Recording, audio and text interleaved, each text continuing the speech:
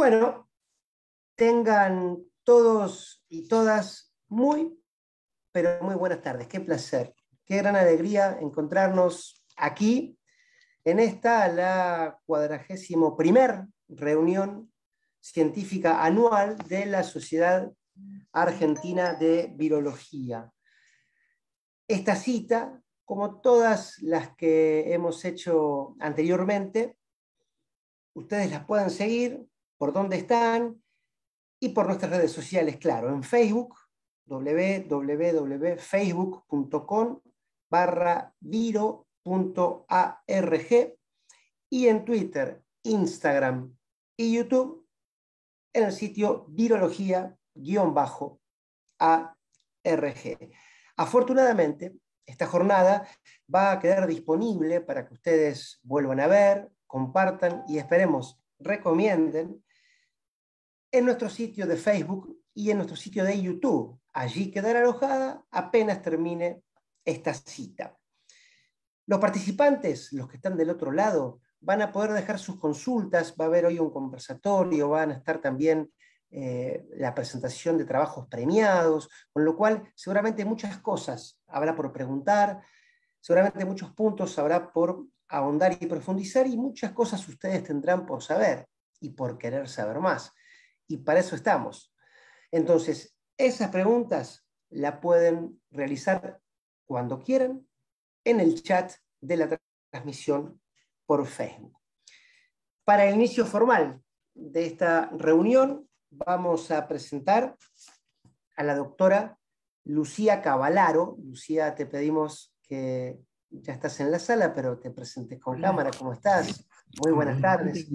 Ella es, vos sos presidenta de la Sociedad Argentina de Virología y profesora titular de la Cátedra de Virología de la Facultad de Farmacia y Bioquímica de la Universidad de Buenos Aires. Con tus palabras, Lucía, comienza el evento científico. Bueno, muchas gracias, Diego. Buenas tardes. Bueno, buenas tardes a todos. En nombre de la Sociedad Argentina de Virología, les doy la bienvenida a esta nueva reunión científica anual eh, les agradecemos muchísimo que nos acompañen a pesar del corto tiempo que ha transcurrido desde la finalización del CAP 2021, pero consideramos que era muy importante también eh, aprovechar este espacio científico. Eh, de modo tal que esperen, les deseo que puedan disfrutarla, que sea una buena jornada eh, agradezco especialmente, también o agradecemos especialmente a todos los disertantes que tan generosamente aceptaron participar y ellos conforman eh, el programa científico que hoy vamos a disfrutar. Así que a todos muchísimas gracias. Les deseamos un 2020 muy bueno para todos y desde la SAP nos comprometemos para seguir trabajando y tratando de contribuir de alguna manera a esclarecer o aportar de algún modo un poquito de conocimiento que se tiene acerca de las infecciones virales que nos preocupan o puedan preocuparnos este, el año próximo. Así que a todos muchísimas gracias y que disfruten este evento.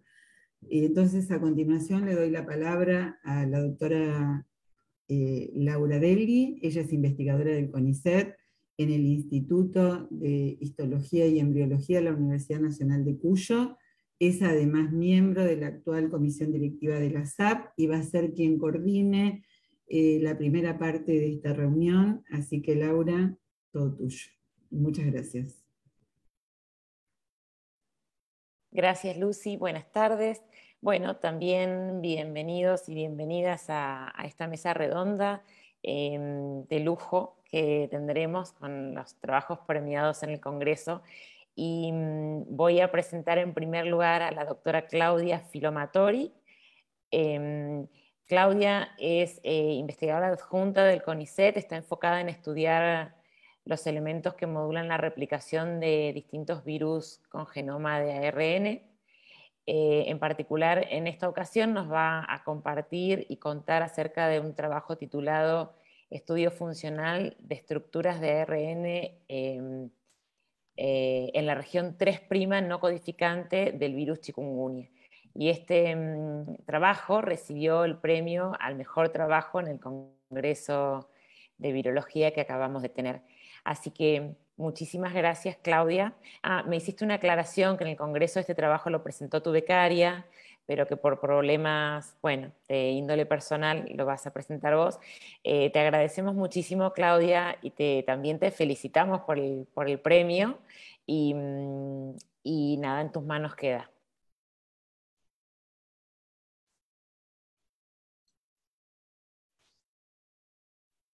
Bueno, buenas tardes a todos. Ante, todo, gracias por el premio y la posibilidad de presentar el trabajo. Eh, les voy a hablar sobre estructuras de ARN en la región 3' no codificante del virus chikungunya. El virus chikungunya, como saben, es un patógeno humano que es transmitido por mosquitos del género Aedes. Produce fiebre chikungunya es un síndrome febril acompañado de dolor de articulaciones, dolor muscular, dolor de cabeza, náuseas, erupción cutánea y, en algunos casos puede producir complicaciones neurológicas. Es un virus reemergente. Durante más de 70 años la circulación estuvo restringida a África y Asia y en el año 2005 hubo un importante brote en una de las islas del, del Océano Índico, la isla de la Reunión, una isla francesa, y de ahí pasó a Europa. Recién en el 2013 pasó de Asia a las islas del Caribe y de ahí al resto de América. Es un virus envuelto perteneciente a la familia Togaviridae, género alfavirus, con un genoma de ARN simple cadena, polaridad positiva, no segmentado, de unas 11 kilobases de longitud. Tiene dos marcos de lectura abierto, el primero codifica para las proteínas no estructurales, el segundo para las estructurales, y flanqueando la región codificante se encuentran las regiones 5' y 3' UTR. Se sabe para distintos virus que tienen genoma de ARN que estas regiones no codificantes cumplen importantes funciones durante el ciclo de replicación viral. Muy brevemente, cuando el virus entra a la célula, su genoma se libera y es utilizado para la síntesis de proteínas virales. Una de ellas, la polimerasa dependiente de RNA, es la encargada de amplificar las moléculas del genoma viral, que después es encapsidado, generando los nuevos viriones que salen de la célula. Lo que les quiero mostrar acá es que el mismo genoma es sujeto de los procesos de replicación, traducción y encapsidación. Y las regiones no codificantes son capaces de promover y coordinar en el tiempo estos tres procesos. A nosotros nos interesa estudiar el 3' de chikungunya, que es eh, una región de longitud variable en, trasladamientos virales y tiene una característica muy especial, que es que tiene repeticiones cortas de secuencias o direct repeats o simplemente de Rs. En verde les muestro las repeticiones de tipo 1 y en rojo las de tipo 2. Y es curioso que distintos linajes de chikungunya tienen distinto número de copias de las DRs. Eso, a eso se debe la longitud variable entre aislamientos. Se vio que la reemergencia y la diseminación global del virus estuvo asociado a, a duplicaciones en el 3' UTR. Así, los, virus más los linajes más ancestrales contienen como el del oeste de África y el de este centro-sur de África, contienen los 3' UTR más cortos con menor número de DRs en su 3' UTR. Cuando el virus pasa de África a Asia, incorpora una eh, repetición a que la que llamamos DR3, y cuando pasa de Asia al Caribe, incorpora una copia de DR1 más 2. Así, el virus Caribe tiene el 3' UTR más largo descrito en la naturaleza, con tres copias de, DR1 más 2 y dos copias de DR3. Para estudiar las estructuras de ARN que están contenidas en estas repeticiones, lo que hicimos fue tomar el 3' de 112 aislamientos naturales de chikungunya de distintos linajes, hicimos alineamientos múltiples de las secuencias de las DRs y predicción de estructuras con el programa RNA Alifold. En particular, eh, este análisis lo hicimos alineando todas las DR1, que son los rectángulos verdes, de todos los aislamientos virales que tomamos, las DR2, que son los rojos, y también la última porción de DR3, que está eh, representado acá con estos rectángulos rosas. Acá lo que les muestro son la probabilidad de apareamiento y la conservación de secuencias de DR1 y DR2. Lo que pueden ver es que para ambas la probabilidad de apareamiento es nula y la conservación de secuencia, a pesar de ser secuencias repetidas, no es tan alta. En cambio, la última parte de DR3, que es la que está acá en rosa, tiene regiones con alta probabilidad de apareamiento, cercana al 100%, y muy alta conservación de secuencias. Si vemos la predicción de estructura secundaria, esta región se pliega formando un stem loop con forma de Y al que llamamos stem loop I. Si ustedes recuerdan, el linaje EXA tiene una sola copia del DR3 y por lo tanto una sola estructura de loop I, mientras que el asiático y el del Caribe tienen dos copias de R3 y por lo tanto dos estructuras de stem loop I. A la primera la llamamos stem loop A y a la segunda stem loop B.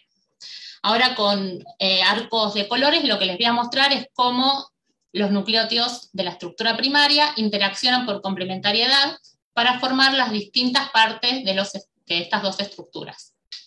Entonces, estos nucleótidos aparean entre sí para formar eh, el stem derecho de los stem loop is. Estos forman el stem izquierdo y los que se encuentran más distales en la estructura primaria forman el stem basal. Lo que se puede ver acá es que la conservación nucleotídica en todos aquellos nucleótidos que forman parte de los stems están 100% conservados, a excepción de una posición, que en, algunos, en algunas secuencias es una A y en la otra es una G. De todos modos, A y G son capaces de interaccionar con la U que se encuentra del otro lado del stem. El resto de los cambios nucleotídicos aparecen todos en regiones desapareadas de loops o Bush y están acá marcados en color. Está, está, está U, está U. Bueno, entonces para estudiar el papel del Stenlupin durante la replicación del virus chikungunya, lo que contamos con el laboratorio es con el clon infeccioso de chikungunya caribe, que tiene el genoma completo del virus bajo el promotor de la polimerasa SPSS. Por transcripción in vitro podemos sintetizar moléculas de RNA correspondientes al genoma viral completo que transfectamos en células crecidas en cultivo, BHK como modelo de mamífero y CC36 como modelo de mosquito. Luego evaluamos la replicación viral por inmunofluorescencia usando anticuerpos dirigidos contra proteínas estructurales del virus o por titulación de partículas virales infectivas en función del tiempo mediante el método de formación de placa de lisis. Con este sistema de genética inversa, lo que hacemos es incorporar mutaciones eh, o de lesiones en el 3' UTR, sintetizar RNAs mutados y comparar la replicación de los virus mutados con respecto al virus wild type.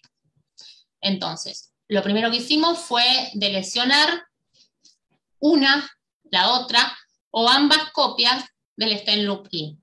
Obtener RNAs mutantes, transfectarlos y evaluar la replicación. Acá les muestro para células de mamífero. El virus wild type a los tres días en células de mamífero infecta el 80% de la monocapa y a los seis días observamos un efecto citopático total.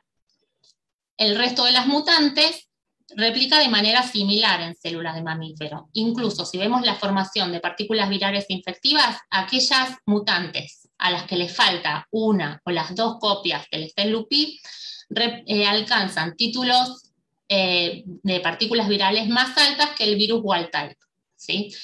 Acá eh, la que le, falta las dos copias tiene aproximadamente a los tres días mil veces más partículas virales que el virus wild Esto quiere decir que el stem no se necesita para que el virus replique eficientemente en células de mamífero. En células de mosquito la historia fue otra. Estos son los mismos virus, pueden ver que a los tres días el virus wild type infecta el 10% de las células, los virus con una sola estructura, un 2 y un 1%, y el que no tiene estructura no, eh, no vemos células infectadas. A los 6 días, los virus con una sola estructura infectan aproximadamente el 50% de la monocapa en comparación con el 100% para el virus wild type, y el virus sin estructura solo un 14%. Recién, al día 9, todos los virus infectan la monocapa, la monocapa completa.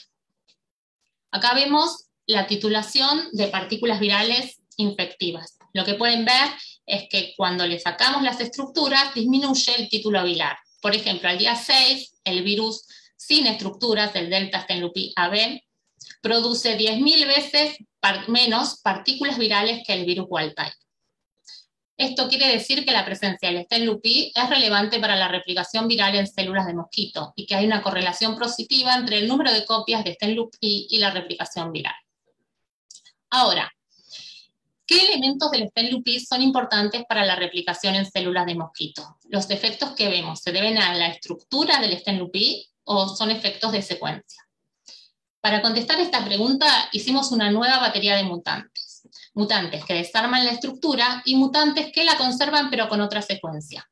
Entre las que desarman la estructura está la mutante 1, que tiene desapareamientos en el stem derecho de la Y, la mutante 2, que tiene desapareamientos en el stem basal, y entre las que conservan la estructura tenemos la mutante del loop, que cambia la secuencia del loop sin alterar la estructura general, y esta mutante, la mutante 4, que tiene eh, eh, un stem basal que reconstituye un stem basal, pero con una secuencia diferente a la secuencia viral.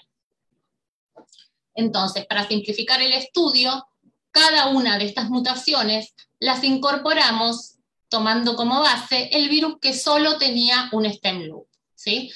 Las incorporamos en el stem loop A, en el contexto del virus con la deleción del B, o en el stem loop B, en el contexto del virus con la deleción del A. ¿Sí? Son las mismas mutantes eh, en ambos stem loops. Bueno, les muestro primero el panel A de mutantes, que serían las mutaciones en el stem loop A, en el virus que le falta el stem loop B. Entonces tenemos el virus parental, que sería el delta stem loop B, a ese virus le incorporamos mutaciones que abren el stem derecho del stem loop A,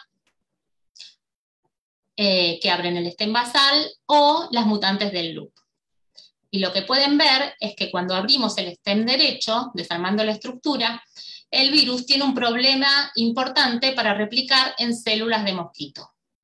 A los 3 y a los 6 días no se ven células infectadas, a los 9 días solamente un 10% contra el 100 para el virus parental. Las otras dos mutaciones también produjeron un retraso de la replicación viral.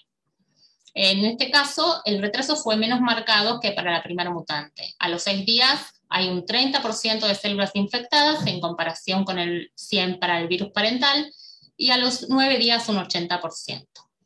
Si vemos la titulación de partículas virales infectivas, en todos los casos se disminuye el título viral. Esto quiere decir que las mutaciones que alteran la estructura del stem retrasan significativamente la replicación viral en células de mosquito. Y las mutaciones que cambian la secuencia sin alterar la estructura también tienen un efecto desfavorable sobre la replicación. El panel B, que es el panel análogo, lo voy a pasar por razones de tiempo más rápido, pero también al desarmar el stem loop, eh, los stems del stem loop B, se retrasa significativamente la replicación. En este caso, la mutante del loop replica de manera parecida al virus wild type. Esto mismo se ve cuando hacemos la comparación de títulos virales en función del tiempo. Entonces, finalmente, para terminar, acá es importante, si sabemos que si desarmamos la estructura de los stems, se retrasa la replicación viral en mosquito. Entonces, ¿la estructura es importante o será que también es importante la secuencia que, eh, contenida en estas, en, estas mutaciones que introdujimos. Entonces, para contestar esa pregunta, lo que hicimos fue reconstituir el stem basal con una, con una secuencia artificial. Vemos nuevamente que al romper el stem basal se retrasa la replicación viral en mosquito y cuando lo reconstituimos se, eh, se rescata, se recupera completamente la replicación viral. Esto también lo vemos en la titulación post-transfección. La mutante que desarma la base del stem loop está retrasada, produce menos partículas virales y la cinética de producción de partículas de la mutante que lo reconstituye es similar a la del virus parental. Como conclusiones del trabajo, en el 3' UTR de chikungunya se forma una estructura estable conservada con forma de I o Stenlupi, que está presente en todos los aislamientos virales y está duplicada en el linaje asiático. Su función es dependiente de hospedador, es importante para la replicación viral en células de mosquito, pero innecesaria en células de mamífero.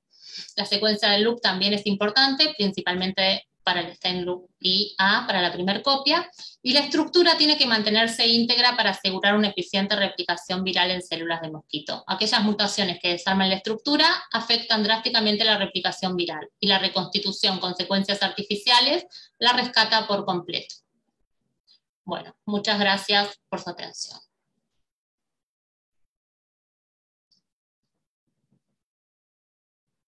Bueno, gracias Claudia, hermoso. Vamos a dar, eh, como las preguntas las vamos a tener al final a todas, vamos a, mm, presentar entonces a nuestro siguiente disertante, que es el doctor Carlos Bueno. Em, si quieres ir eh, poniendo tu presentación, Carlos. Em, Carlos es investigador adjunto del CONICET en el Laboratorio de Virología del Instituto de Química Biológica de la Facultad de Ciencias Exactas y Naturales de la UBA eh, disertará sobre el trabajo titulado El flavonoide cianidina presenta actividad antiviral e inmunomoduladora frente al virus respiratorio sincicial in vitro e in vivo y este trabajo en el Congreso de Virología recibió el premio al mejor póster otorgado por la ASM. Em, queda en tus manos, Carlos. Muchas gracias. Bueno, muchas gracias en primer lugar por, por el premio de la ACM y en segundo lugar por la invitación a, dar esta presentación que trata sobre eh, nuestro trabajo titulado El flavonoide cianina presenta actividad antiviral e inmunomoduladora frente al virus respiratorio sincicial in vitro e in vivo.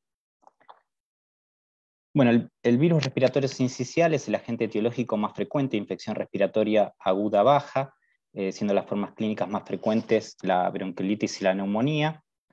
Eh, es responsable de más de 33 millones de nuevas infecciones, 3 millones de admisiones hospitalarias y aproximadamente 200.000 muertes anuales en niños menores de 5 años, sobre todo en países subdesarrollados, y además causa una significativa morbilidad y mortalidad en inmunosuprimidos y en eh, mayores de 65 años.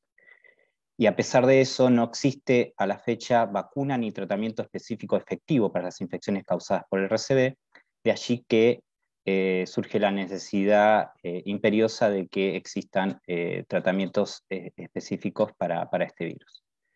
Entonces, en el laboratorio nos propusimos en los últimos años la búsqueda de compuestos sintéticos y naturales que tengan actividad contra el virus respiratorio sincicial, y así es que en el 2019 reportamos la actividad de la escina y del extracto a partir de lo cual se obtiene esta droga, que presentan actividad antiviral frente al RCB, nosotros previamente habíamos reportado una actividad de amplio espectro de, esta droga frente a distintos virus envueltos.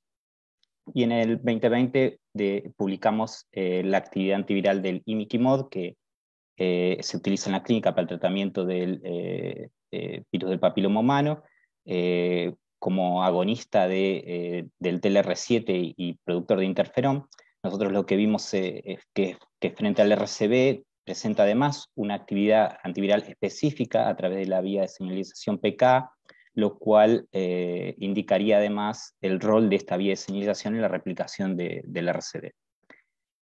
Por otro lado, eh, la cianidina, que, es una droga que, se ha que presenta numerosos reportes de actividad antiinflamatoria en distintos modelos, eh, recientemente se publicó que eh, inhibe la, interacción entre la interleuquina 17 y el, su receptor, lo que eh, explicaría o sería uno de los posibles mecanismos moleculares de, sus actividades antiinflamatorias.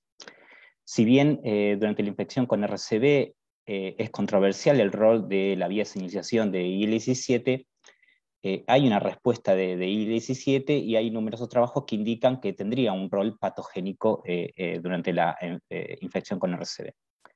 Por otro lado, también se ha reportado un rol central de la vía de señalización FKB en mediar la respuesta inflamatoria en las células epiteliales del pulmón, que es donde multiplica el virus RCB. Y en este sentido, también hay numerosos trabajos que muestran que cianidina presentaría una actividad moduladora de esta vía de señalización en distintos modelos eh, animales y in vitro. Entonces, teniendo en cuenta que eh, cianidina modularía tanto la vía de señalización FKB como la de IL-17, las cuales a su vez están implicadas en la patogenia de RCB, es que nos interesó evaluar un, potencial eh, rol protector de, esta droga eh, en la patogenia de, de, RCB. Así es que en el 2019, en la SAP del 2019, nosotros presentamos la actividad anti-RCB de cianidina en células HEP2 y A549. HEP2 son células de nasofaringes, y A549 son células epiteliales de pulmón, son eh, los modelos más ampliamente utilizados in vitro para evaluar eh, las infecciones por RCB, y nosotros vimos una potente actividad antiviral, tanto en células HEP2 como A549. En cuanto a su mecanismo de acción, verificamos que afecta la síntesis de macromoléculas virales, tanto de la glicoproteína F como del RNA viral, evaluado por QPCR, y vimos que eh, si bien a las 6 horas no hay una diferencia significativa, sí la hay a las 15 y 24 horas en eh, los genomas virales. y luego, por otro lado, también verificamos que en células infectadas por RCB hay un incremento en la síntesis de citoquinas y la cianina es capaz de reducir significativamente la producción de citoquinas en células epiteliales infectadas con RCB. También habíamos utilizado BEI, que es un inhibidor de la vía señalización FKB como control positivo de actividad antiinflamatoria. Entonces, teniendo en cuenta que mostramos que eh, cianidina presentaría actividad antiviral e inmunomoduladora de citoquinas en células epiteliales infectadas por RCB, es que nos propusimos caracterizar y profundizar el estudio, perdón, el, estudio del efecto antiviral inmunomodulador de cianidina frente a la infección con RCB in vitro y estudiar las propiedades antivirales inmunomoduladoras de cianidina en el modelo de infección con RCB en ratones. Así es que, en primer lugar, eh, nos propusimos evaluar eh, eh, la influencia de la duración del tratamiento en la infectividad, y para ello células infectadas con RCB fueron tratadas con cianidina antes, durante o después de la infección con RCB, y observamos que tanto durante como post-infección presenta actividad antiviral, no así con pretratamientos. Luego hicimos ensayos de adición y remoción a las 8 horas post-infección y observamos que cuando se agrega a las 8 horas de postinfección no presenta actividad antiviral, pero sí mientras está presente durante las primeras 8 horas y luego se renueve, se conserva su actividad antiviral, por lo que presentaría actividad antiviral durante las primeras eh, horas postinfección, en etapas tempranas. Teniendo en cuenta que afectaría etapas tempranas y durante la infección, es que nos propusimos evaluar si además es capaz de afectar la absorción e internalización viral. Entonces observamos que eh, es capaz de afectar la absorción eh, viral, pero no así la internalización. Por lo, por lo, tanto, cianina es capaz de afectar etapas tempranas de la infección por RCB, eh, entre ellas, por ejemplo, la absorción viral. Luego, teniendo en cuenta que habíamos presentado previamente que eh, modula la síntesis de toquinas en células infectadas con RCB, dado que además presenta actividad antiviral, nos quedaba la duda si eh, es capaz de afectar la síntesis de toquinas de manera eh, por su actividad antiviral o de manera directa, ¿sí? sea una, actividad directa y no, e independiente de su actividad antiviral. Entonces, teniendo en cuenta que a las seis horas post-infección observábamos que los genomas virales entre las células tratadas y no tratadas eran similares, nos propusimos evaluar la síntesis de toquinas en un tiempo tan temprano como las seis horas. Y así es que las células infectadas por RCB incrementan tanto IL-6 como IL-8 y cianidina es capaz de reducir la síntesis de citoquinas eh, en este tiempo de 6 horas post-infección. También fueron tratadas con BEI, que es un inhibidor de NFKB, como control positivo de actividad eh, inmunomoduladora.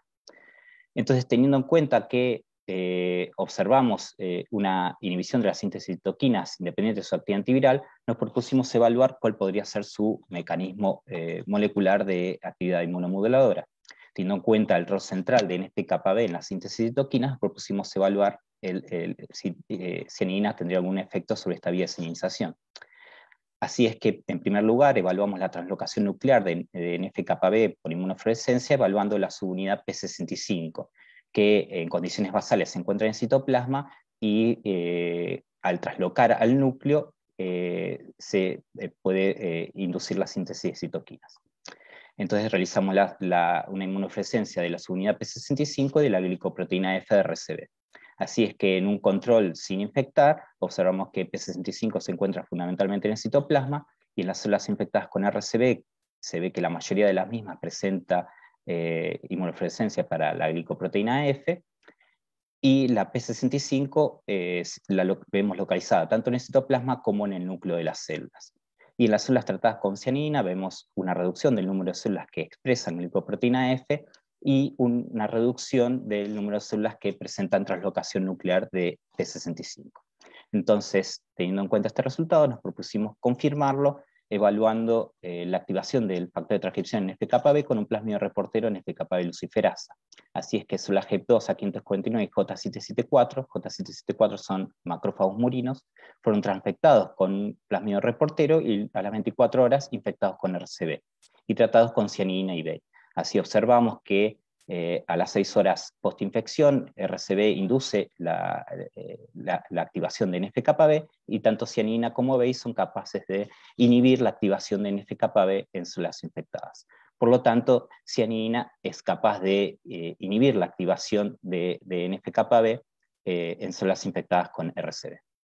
Entonces, teniendo en cuenta que demostramos la actividad antiviral inmunomoduladora en células in vitro, nos propusimos eh, verificar que dicho efecto se reproduzca en un modelo de infección pulmonar en ratones. Entonces, ratones infectados con eh, las cepas L19 y A2 de RCB fueron eh, tratados con cianina, tanto por, por un lado por vía intraperitoneal y en otro grupo de ratones por vía intranasal durante tres días postinfección.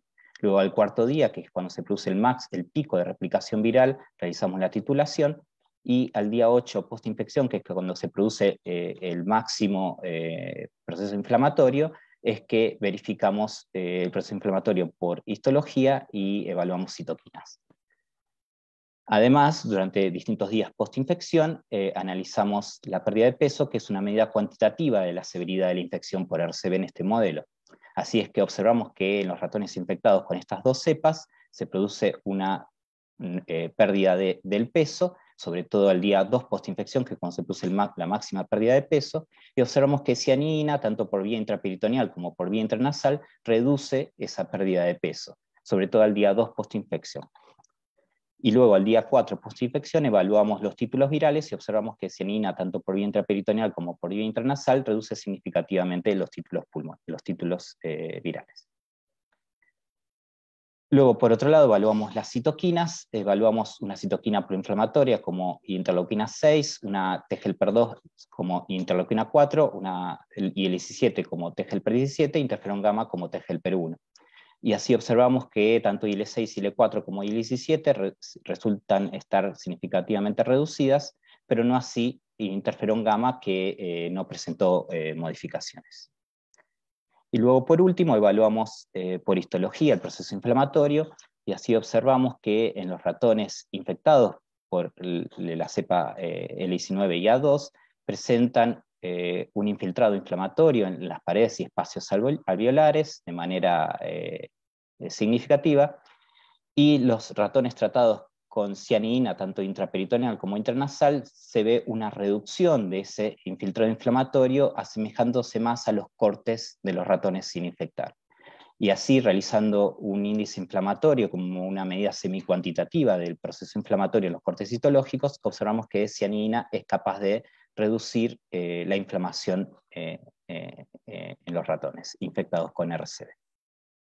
Así es que entonces Concluimos que cianina presenta actividad antiviral durante las etapas tempranas de infección en células A549 y HEP2, reduce la producción de citoquinas e inhibe la activación de NFKB independientemente de su actividad antiviral, y en un modelo murino de infección con RCB mejora el curso de la enfermedad, evidenciado por una disminución de la pérdida de peso, reducción de los títulos y disminución de la inflamación de las vías respiratorias. Por lo tanto, concluimos que eh, cianina restringe la enfermedad causada por RCB a través de sus efectos tanto antivirales como inmunomoduladores.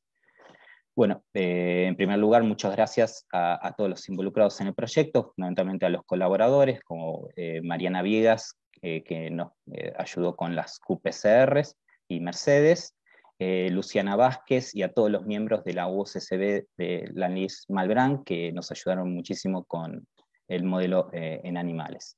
Y bueno, y muchas gracias a todos por, por su atención. Muchísimas gracias, Carlos, a vos. Eh, muy lindo tu trabajo. Muchas em, gracias. Carolina, si, si querés ir eh, poniendo la presentación, yo mientras te presento a vos, eh, Carolina Torres es investigadora del CONICET en el Instituto de Investigaciones en Bacteriología y Virología Molecular de la Facultad de Farmacia Bioquímica de la eh, UBA y es coordinadora del nodo de evolución del Proyecto País. El Proyecto País, que se denomina Proyecto Argentino Interinstitucional de Genómica de SARS-CoV-2, em, fue conformado en marzo del 2020 por el Ministerio de Ciencia, Tecnología e Innovación de la Argentina es coordinado por la doctora Mariana Viegas del Instituto del Hospital de Niños de la Ciudad de Buenos Aires. Participan eh, más de 120 investigadoras, investigadores y profesionales de la salud argentina. Em, Carolina nos va a hablar del, título, del trabajo titulado Vigilancia de variantes de SARS-CoV-2 durante la segunda ola de la COVID-19 en Argentina en el marco del, proyecto País, eh, que eh, recibió el premio Mención Especial en el Congreso de Virología que recientemente hemos tenido. Muchísimas gracias Carolina y cuando vos quieras. Bueno, muchas gracias Laura por la presentación, muchas gracias por la mención especial en el Congreso. Eh, yo les voy a contar nuestro trabajo de vigilancia molecular del SARS-CoV-2 eh, bueno, muy brevemente, desde finales del 2020 tuvimos la emergencia de variantes del SARS-CoV-2 eh, asociadas a nuevas olas de infecciones a nivel mundial. Eh, nosotros, bueno, la Organización Mundial de la Salud clasifica estas variantes de acuerdo a su impacto epidemiológico y a sus comportamientos fenotípicos, sus características biológicas, fundamentalmente en tres tipos de variantes, variantes de preocupación. Actualmente tenemos cinco variantes de preocupación, las variantes alfa, beta, gamma, delta y la reciente incorporación de Omicron. También tenemos variantes de interés, como las que están actualmente clasificadas bajo esta categoría, son las variantes lambda y mu, y también tenemos variantes bajo seguimiento, eh, que son otras variantes que despiertan algún, algún interés, pero no tanto como para ser clasificadas como variantes de, interés o de, preocupación. Eh, bien, entonces nosotros lo que, lo que hicimos desde Proyecto País es realizar la vigilancia molecular de linajes y variantes de SARS-CoV-2 que han ingresado a la Argentina y estudiar su ingreso y su diversificación. Para eso, eh, bueno, el Consorcio País eh, tiene, tiene una estructura, está coordinado eh, por la doctora Mariana Viegas, desde el nodo central en el Hospital de Niños Ricardo Gutiérrez de la Ciudad Autónoma de Buenos Aires. Y trabaja con distintos nodos, muchos profesionales de la salud, investigadores de todo el país participan, y en este caso específicamente para los objetivos de vigilancia molecular, bueno, hay algunos nodos que, participan más activamente en forma regular. Entonces, eh, nosotros para este trabajo en particular analizamos hasta este momento eh, aproximadamente 5.200 eh, casos con diagnóstico de infección por SARS-CoV-2, principalmente de la Ciudad Autónoma de Buenos Aires y 10 provincias de nuestro país. Este trabajo se realizó durante 51 semanas epidemiológicas, esto es desde la semana epidemiológica 44 del año 2020, esto, esto es fundamentalmente principios de noviembre del 2020, que es donde se, comienzan a reportar la emergencia de estas variantes, ¿no? inicialmente la variante alfa un poquito antes, después beta y después gamma, eh, y bueno, abarca 51 semanas epidemiológicas, eh, la mayor parte de este trabajo, y además les voy a contar algunas semanas epidemiológicas más que sumamos para, el análisis del área metropolitana de Buenos Aires. Fundamentalmente abarca lo que sería el final de la primera ola, que es cuando comienzan a emerger estas variantes, y eh, todo lo que es la segunda ola bueno, y el periodo más reciente. Eh, tenemos algunos lugares que se han mostrado en forma mucho más regular, de modo tal de poder hacer un seguimiento de las frecuencias de estas variantes a lo largo de las semanas epidemiológicas, específicamente lo que sería eh, dentro del área metropolitana de Buenos Aires, más puntualmente la Ciudad Autónoma de Buenos Aires, el Gran Buenos Aires y un poco más recientemente las provincias de Santa Fe y de Neuquén. Además, tenemos también muestreo regular en algunas ciudades de la provincia de Buenos Aires. Bien, y entonces eh, la estrategia de vigilancia de, Proyecto País se basó en la secuenciación de una región parcial eh, que codifica para la proteína spike del virus, eh, y bueno, y que permite, esta sería, este es un esquema de, ampliado de lo que sería la región codificante de esta proteína spike, este sería un esquema del genoma del virus.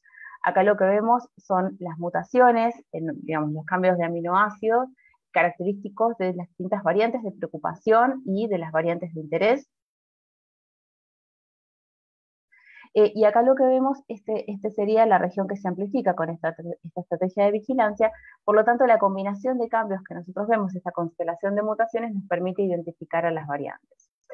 Entonces, eh, se realizó esta estrategia sobre un porcentual de muestras que ha variado a lo largo de, digamos, de, todas las olas, porque tiene que ver con la logística y con la capacidad de los secuenciadores, esta tecnología de Sanger. Y algunas de esas muestras después van a, digamos, también se hace, mm, digamos, se incorporan para lo que sería eh, el análisis de genoma completo, algunas de estas, o bien hay, eh, algunos de los nodos de, Proyecto País también hacen vigilancia por eh, secuenciación de genoma completo. Nosotros los genomas completos además los, los utilizamos para hacer otro tipo de estudios genómicos como les voy a mostrar hacia el final. Entonces, bueno, los resultados que nosotros obtuvimos, estos serían eh, las frecuencias de detección en todo el periodo, estas serían las 51 semanas epidemiológicas, ¿no? abarcando principalmente lo que es prácticamente toda la segunda ola y el final de la primera ola, para las distintas eh, provincias. Lo que vemos fundamentalmente es que las principales variantes encontradas es eh, la variante gamma y la variante lambda. La variante gamma sería esta que está aquí en verde, la variante lambda sería la que está en celeste. Eh, la principal, digamos, variante predominante es la variante gamma en, prácticamente todo el país y en la, región del área metropolitana de Buenos Aires es un poco más pareja esa distribución con la variante lambda. En menor medida se encuentran otras variantes como la variante alfa eh, y la variante zeta, que es la que conocimos como variante Río de Janeiro. En particular, me voy a detener solamente en, estos análisis de frecuencia del área metropolitana de Buenos Aires por una cuestión de tiempo. También estos, estudios salen en los reportes de Proyecto País y Proyecto País también vuelca sus resultados al Sistema Nacional de Vigilancia eh, de la Salud, donde también se utilizan para, hacer reportes periódicos eh, con el Ministerio de Salud, que también utiliza datos del Instituto Malbrán y de todos los que reportan con otras eh, tecnologías que permiten además la identificación de variantes como pueden ser, por ejemplo, las RT-PCR específicas. Eh, bien, entonces, eh, específicamente para los resultados de país, acá eh, tenemos algunas semanas más analizadas, más recientes, donde lo que vemos fundamentalmente es que los virus de primera ola, que son estos que acá están en colores en gris, o sea, acá, acá, lo que graficamos es la frecuencia de las distintas variantes a lo largo de las semanas epidemiológicas. Acá estamos graficando específicamente lo que es 2021. Entonces teníamos variantes de, primera ola que se fueron reemplazando paulatinamente por justamente estas variantes emergentes a nivel regional, especialmente lo que es las variantes eh, gamma y las variantes lambda. Inicialmente tuvimos el ingreso de otras variantes, por ejemplo acá está eh, representado con amarillo, lo que es la mutación E484K. Esto fue fundamentalmente en nuestro país asociado al ingreso de lo que es variante Z o Río de Janeiro. Y también tuvimos el ingreso de lo que fue la variante alfa predominante en las segundas olas de todo lo que fue el hemisferio norte. Eh, sin embargo, en América del Sur eh, nunca superó el 20%, al menos en, nuestro país. Y sí fueron mucho más importantes las variantes gamma y lambda.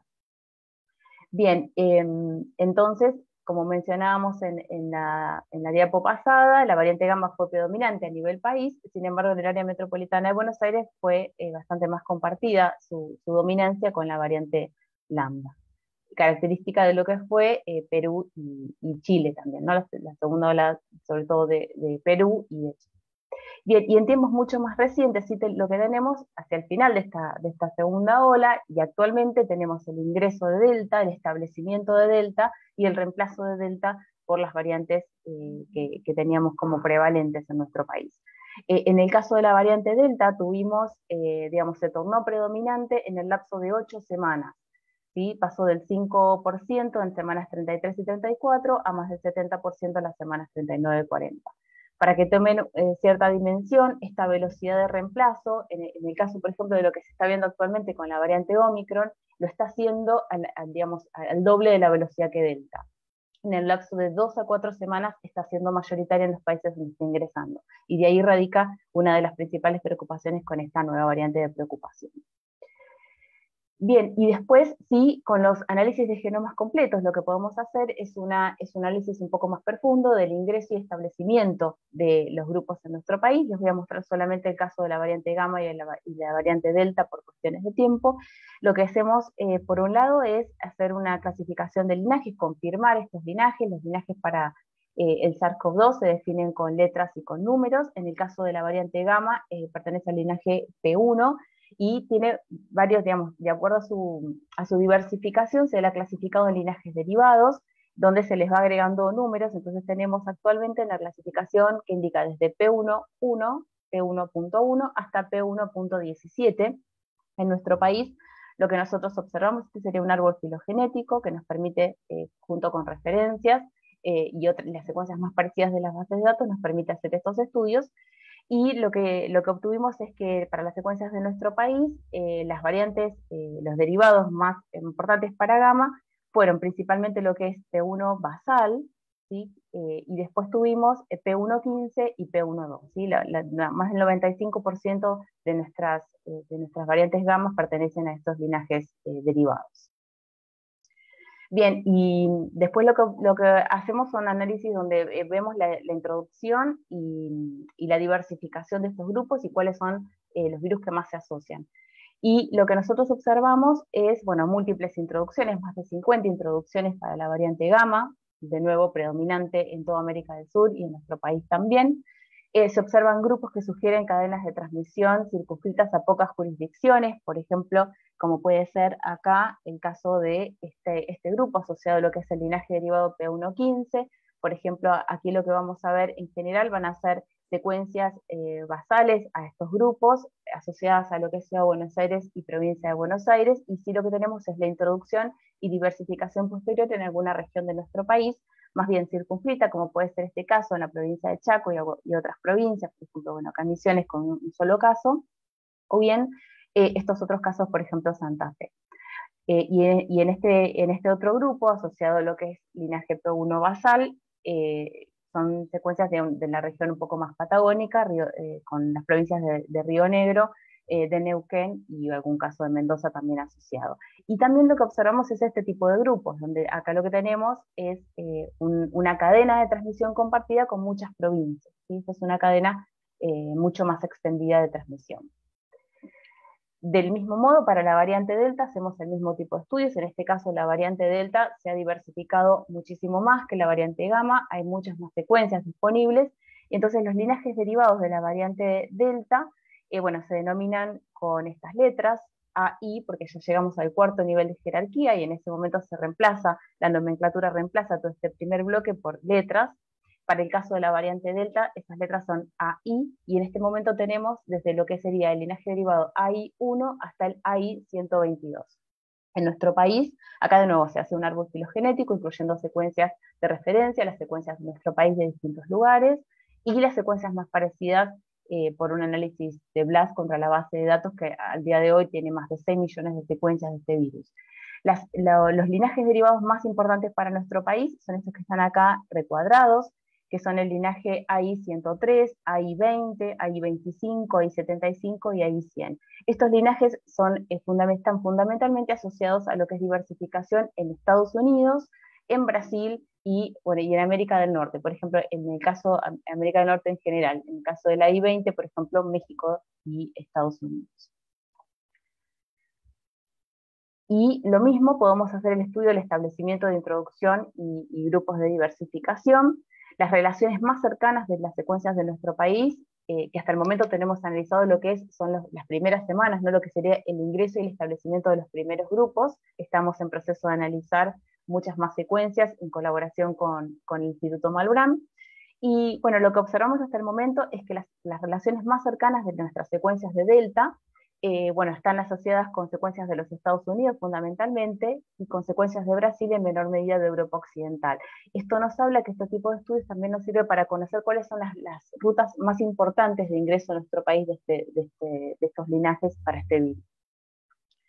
Bien, y también observamos grupos que sugieren eh, cadenas de transmisión circunscritas a, una o pocas jurisdicciones o bien dispersas entre provincias distantes. Por ejemplo, de nuevo, en el caso de lo que es el linaje derivado AI100, podemos ver de nuevo secuencias de lo que es Ciudad de Buenos Aires o Provincia de Buenos Aires en la parte basal de los árboles, lo que nos puede indicar que son virus que pueden estar vinculados al ingreso de, personas infectadas desde estas regiones hacia otras regiones del país. Entonces, en este caso, por ejemplo, este es, este es un ingreso más bien circunscrito a, las provincias de Santa Fe, de Chaco y, bueno, hay una muestra de, Córdoba. Estos son casos que en no están relacionados, ¿no? Son, son casos de, la comunidad que a través del análisis genético podemos encontrar su, nexo común de, infección. Y este sería, por ejemplo, un, ejemplo para lo que es un grupo asociado al linaje derivado I25, donde ya vemos, ya mismo mirando los colores, ya vemos que está mucho más distribuido a nivel de, todo el país.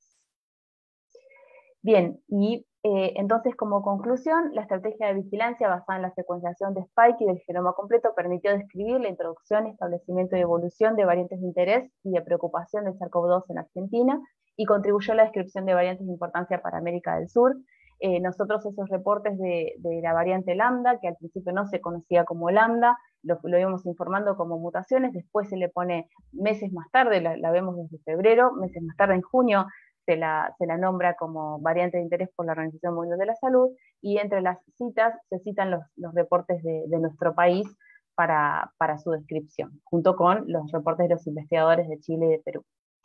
Bien, y el análisis de la segunda ola mostró un desplazamiento de los virus circulantes por parte de variantes de interés y de preocupación, principalmente gamma y lambda, y bueno, y más recientemente el ingreso y establecimiento de delta, y eso evidencia el impacto de la circulación regional sobre nuestra epidemiología. O sea, nosotros podemos mirar lo que ocurre en muchos países, pero tenemos que tener en cuenta que hasta el momento lo que hemos visto para la primera y la segunda ola es eh, que tenemos mucho más impacto de lo que circula a nivel regional sobre nuestra epidemiología que lo que puede circular, por ejemplo, en Europa Occidental.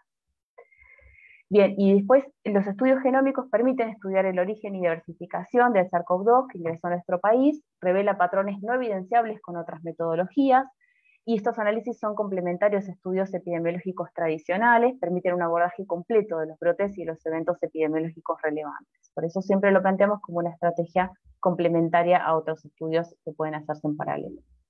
Y este trabajo permite una respuesta rápida en un escenario inicial de recursos limitados, contribuye a la implementación de medidas de salud pública para controlar la propagación de la COVID-19 en nuestro país. Bueno, la, doctora Mariana Viegas coordinando todo este consorcio, acá algunas de las, personas que participamos, eh, especialmente en la parte de, los reportes de vigilancia. Bueno, muchas gracias.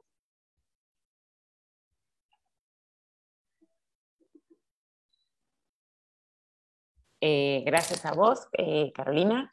Em, entonces, tengo aquí unas cuantas preguntas. Em, voy a empezar por vos, Carolina, ya que que acabas de hablar, em, bueno, hemos, recogido textualmente, con lo cual dice buenas tardes, gracias por su tremenda labor en todo este tiempo.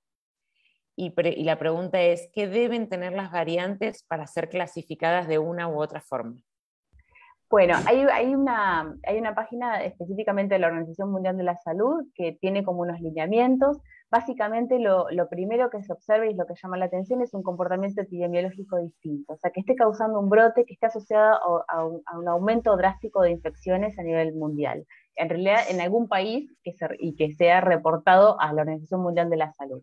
Ese es el primer dato que se mira. En función de eso es que se han hecho las clasificaciones como variantes de interés cuando es algo más regional, y si hay alguna otra información, por ejemplo, algunas mutaciones que ya se conoce, que tienen algún comportamiento, por ejemplo, asociado a algún tipo de evasión o eh, a una mayor afinidad por el receptor, que en general estaba asociado con quizás, eh, no sé, mayores cargas virales o mayores, digamos, que ya se conocen para otras variantes.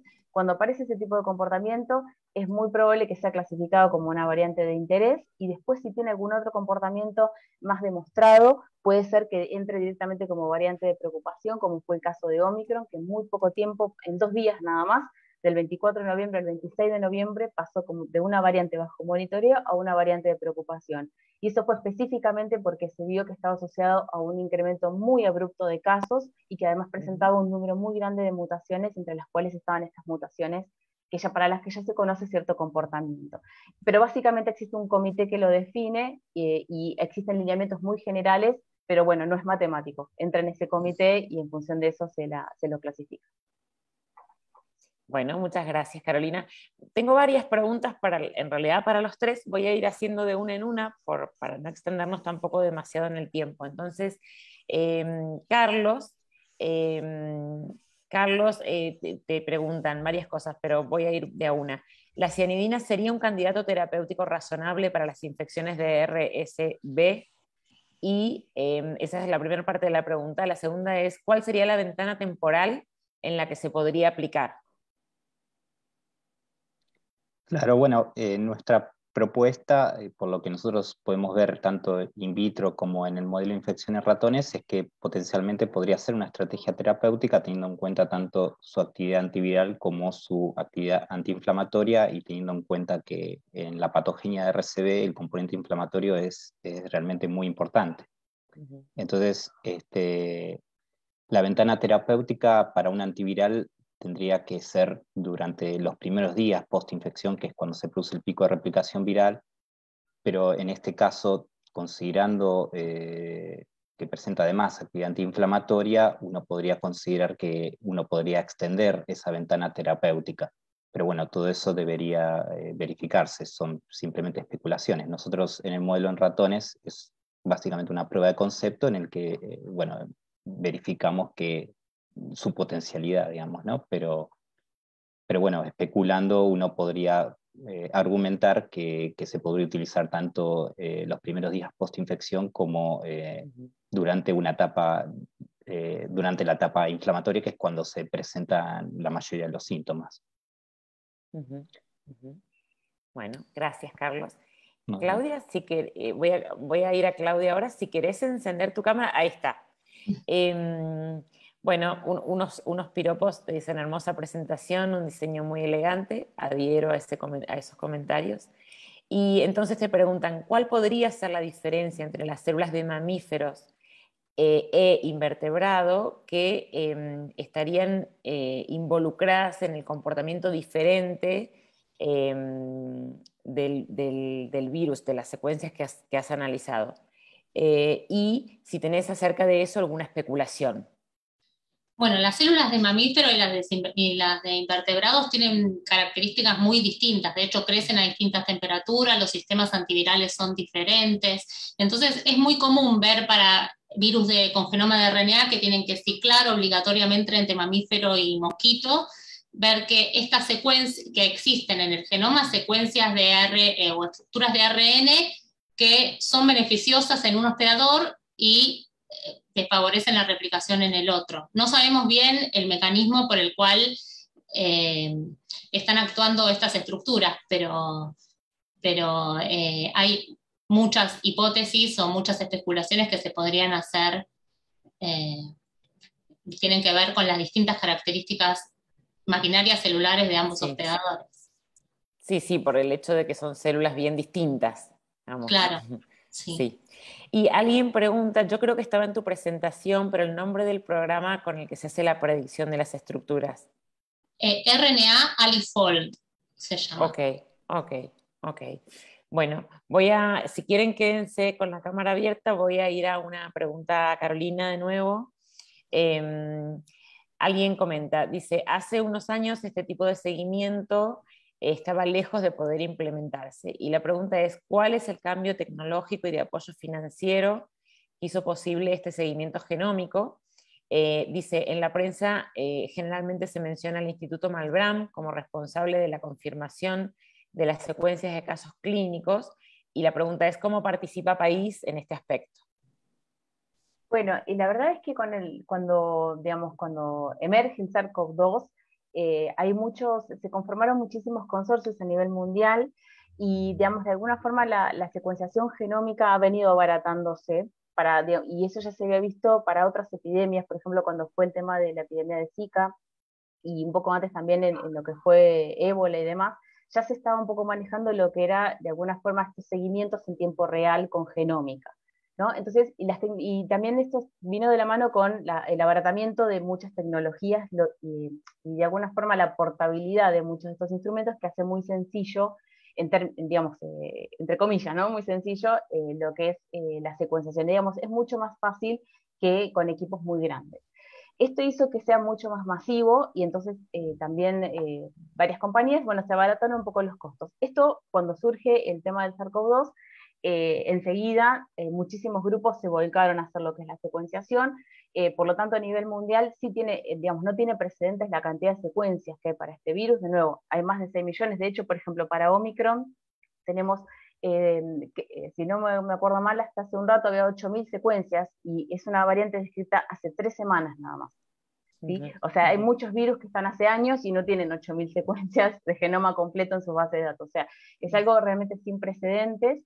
Eh, en respecto a lo que es eh, el apoyo financiero, bueno, en el caso del Consorcio País está, eh, financiado, fue financiado inicialmente por lo que es el Ministerio de, Ciencia, y de alguna forma acompañando un poco esta idea de, de, la formación de consorcios, porque requiere, entre otras cosas, este seguimiento eh, en tiempo real, porque básicamente las, variantes de hecho cambian de una semana para otra, podemos tener un cambio.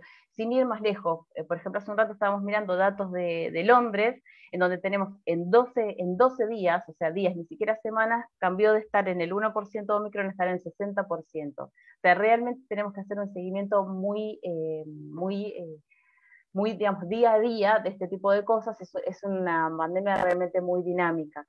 Eh, en el caso de lo que es la confirmación, pero por ahí quizás probablemente él un poquito más tarde pueda hacer algún comentario, pero en general el Proyecto País es un proyecto de genómica y de alguna forma ingresamos a hacer lo que es vigilancia, pero no, eh, digamos, no tanto con los fines de confirmar los casos y sobre todo vinculados a lo que es transmisión local, prácticamente casos de la comunidad, si se quiere de alguna forma, eh, entonces, de alguna forma, cuando nosotros los, captamos por, comunidad, hacemos después análisis genómico que nos permite estudiar este ingreso y establecimiento de, los grupos y demás. Estudios evolutivos que fue para lo que se conformó inicialmente el proyecto País.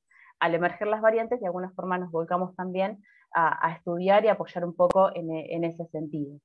Eh, así que bueno, el, tema de la confirmación, eh, eh, el Instituto Malvern participa por supuesto, sobre todo bueno, en, los casos de, en los casos de turismo y en los casos donde requiere por distintos, por distintos agentes que envían sus muestras confirmatorias, especialmente cuando son los primeros casos de una variante no detectada a nivel país. El proyecto país en general capta esas muestras cuando ya están a nivel de la comunidad y nos permite hacer estos seguimientos. Pero son, son enfoques complementarios que, han, que han colaborado para lo que es eh, digamos, el manejo de la pandemia en nuestro país. Mm. Bueno, gracias. Carolina, ahora vuelvo a otra, a otra pregunta a Carlos. Eh, Carlos, eh, alguien consulta si han evaluado la, el sinergismo con ribavirina y yo te pregunto em, si eh, cianidina forma ya parte de alguna formulación aprobada de forma tal que fuera más ágil la posible implementación. Bueno, respecto de, un potencial sinergismo con, un antiviral, no lo evaluamos. Eh, nosotros eh, hemos evaluado la ribavirina, no está incluido en este trabajo, pero la hemos evaluado y también a la dexametasona en, en nuestro modelo. Y la ribavirina presentaría, vemos una reducción de los títulos virales, pero no así del proceso inflamatorio. Y con la dexametasona vemos un incremento de los títulos virales. Eh, pero no, no hemos probado en conjunto, no, no hemos probado, eh, eh, estimo, especulando que potencialmente podría incrementarse ¿no? la reducción de los títulos virales, incluyendo otro antiviral. Y respecto de la segunda pregunta, eh, no, la cianidina eh, no, no, es una droga que esté aprobada en la clínica. Eh, sí se, encuentra, se, encuentran muchos frutos. Se, encuentran muchos frutos y, frutos rojos. Diego es, ¿no? Me parece que sí. Sí. Ahí está, silenciado. Eh, se encuentran muchas frutas y frutos rojos y como extracto, esos extractos se comercializan en, farmacias como, como productos eh, eh, herbarios, ¿no? pero no, no, sabemos qué concentración y si está presente, en qué cantidad, no, no sabemos nada. ¿no? Este, así que en ese sentido no. Sí nosotros hemos reportado de, de, otras drogas que sí están, se utilizan en la clínica como, como la escina, que se utiliza como antiinflamatorio para, el para síndromes venosos, y el imiquimod que se utiliza en la clínica para el tratamiento del virus del papiloma humano, esos sí están aprobados en la clínica y nosotros hemos reportado su, actividad antiviral y, su, actividad protectiva en este modelo de infección. lo cual eh, facilitaría su, utilización en la clínica. Pues ya está demostrada su, seguridad. Bueno, gracias, Carlos. Em, Claudia, yo tengo una pregunta, em, es mía, por si es muy tonta. Em, cuando has mostrado al principio, en, las primeras deleciones que hacías de las estructuras, hay, un delay en, tres de ellas, creo, si bien recuerdo, si recuerdo bien, hay un delay en, el, en, la replicación, pero finalmente a los nueve días posinfección, aparentemente, al menos en lo visual, eh, las cepas finalmente eh, tiran igual que, el wild type. Ese, ese delay, em, ¿a, qué lo, atribuirías o cómo, explicarías que si bien en un primer momento el virus está impedido claramente, al cabo de un tiempo eh, ese, consigue, el éxito en la replicación. Sí, eh, la infección con chikungunya eh, de las células de mosquitos es característica en el sentido de que las células pueden estar persistentemente infectadas con chikungunya. Uno puede pasar células infectadas y, y las células sobreviven. Entonces, cuando están persistentemente infectadas, hay como una especie de control de sobreinfección, entonces disminuye el título viral, del virus wild type o de las mutantes también eh, en el sobrenadante de cultivo. Entonces, si uno ve la cinética de, producción de partículas virales con el virus wild type, lleva un máximo al día 6 y después baja. Entonces, los otros, los mutantes que vienen retrasados, finalmente a día 9 alcanzan los mismos títulos que el virus Wartai, pero es una cuestión de cinética y de esta característica que tiene la infección con chikungunya en células de mosquito, que es que no se lisan y pueden vivir persistentemente infectadas muchísimos pasajes, con una reducción del título de partículas infectivas en el sobrenadante de cultivo. Claro. Bueno, genial, gracias Claudia. Gracias. Y Carolina, te voy a hacer una pregunta eh, que hemos recogido del, vivo, dice, ¿podrías comentar algo más sobre el tema de la tasa de cambio de las distintas variantes? Sí, claro. Eh, a ver, lo que se ha visto es que eh, en, ese, en ese arbolito que yo mostré al inicio, no me detuve, pero en realidad lo que, lo que se ve para las variantes de interés y de preocupación es que en general tienen, muchos, tienen más cambios que lo que se, que, digamos, que la incorporación eh, del resto de los linajes. Hay más de 1.500 linajes definidos para el SARS-CoV-2 y sin embargo hay siete, estas cinco variantes de preocupación y estas dos variantes de interés que particularmente tienen un número alto de cambios. Eh, por lo tanto, lo que se ve es como una velocidad acelerada de evolución en la rama que conecta lo que son linajes de, por ejemplo, de primera ola o los, o los ancestros de lo que son de las variantes estas de interés o de preocupación. Esa rama es una rama acelerada, tiene una evolución más acelerada que todo el resto del virus.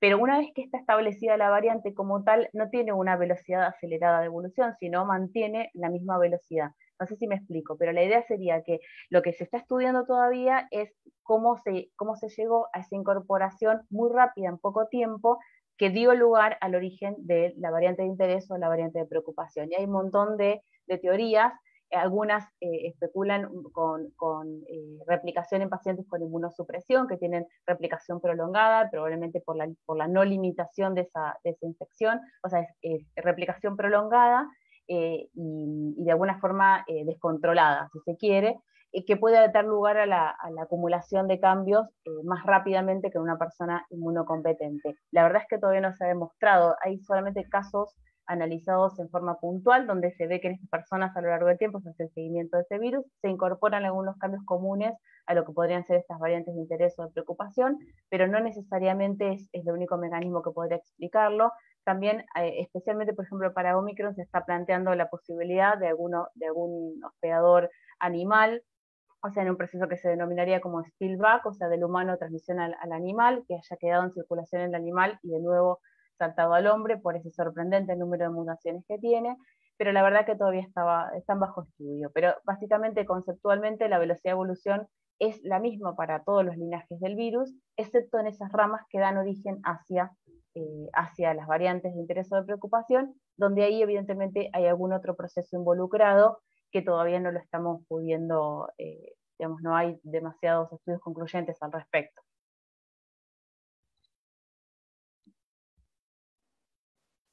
Bueno, gracias Carolina. Yo con esta pregunta vamos a dejar, eh, vamos a dar por terminada esta mesa redonda. Enormes gracias eh, a Carlos, a Claudia y a Carolina por, por, venir y por compartir el trabajo, pero también por haberlo llevado adelante, por, el, por la contribución al conocimiento eh, valiosa, importante en, todos, en todas las áreas. Así que mm, nuevamente gracias. Dejo a, Diego y les invito a que se queden en el conversatorio sobre vacunación en tiempos de pandemia. Eh, nuevamente gracias y buenas tardes. Qué importante lo que decías, qué importante lo que decías Laura, en nombre de Carolina, de Carlos y de Claudia, ¿no? porque poner en común el conocimiento, acercarlo a los demás, es también una forma o sobre todo es la forma de construir el bien común que tanto anhelamos. Así que me sumo a las gracias a Carolina, a Carlos, a Claudia y las felicitaciones, claro, por haber sido ganadores eh, en esta ocasión. Bien merecido que lo tienen. Bueno, y ahora decía Laura, claro, lo que viene, ¿no? Lo que viene, si lo que estuvo hasta ahora les pareció y nos pareció rico, valioso y útil, y les cuento hacia dónde nos dirigimos. Pero antes que nada, vamos a aprovechar para recordar nuestras redes sociales, ¿eh? que es la vía de contacto, la vía de comunicación que tenemos con la comunidad y también con los socios, claro, de la SAB. Y ellos son en Facebook, www.facebook.com barra en Twitter, Instagram y YouTube, virología-ARG. El contenido del Congreso va a estar disponible durante un mes en nuestra plataforma, así que allí todavía tienen tiempo para volver a revisarlo. Pueden ver también las charlas que se perdieron y será una hermosa oportunidad. Esto también queda grabado, ¿eh? por si no se los dije, y si se los dije, se los recuerdo. Toda esta exposición también queda grabada en nuestras redes.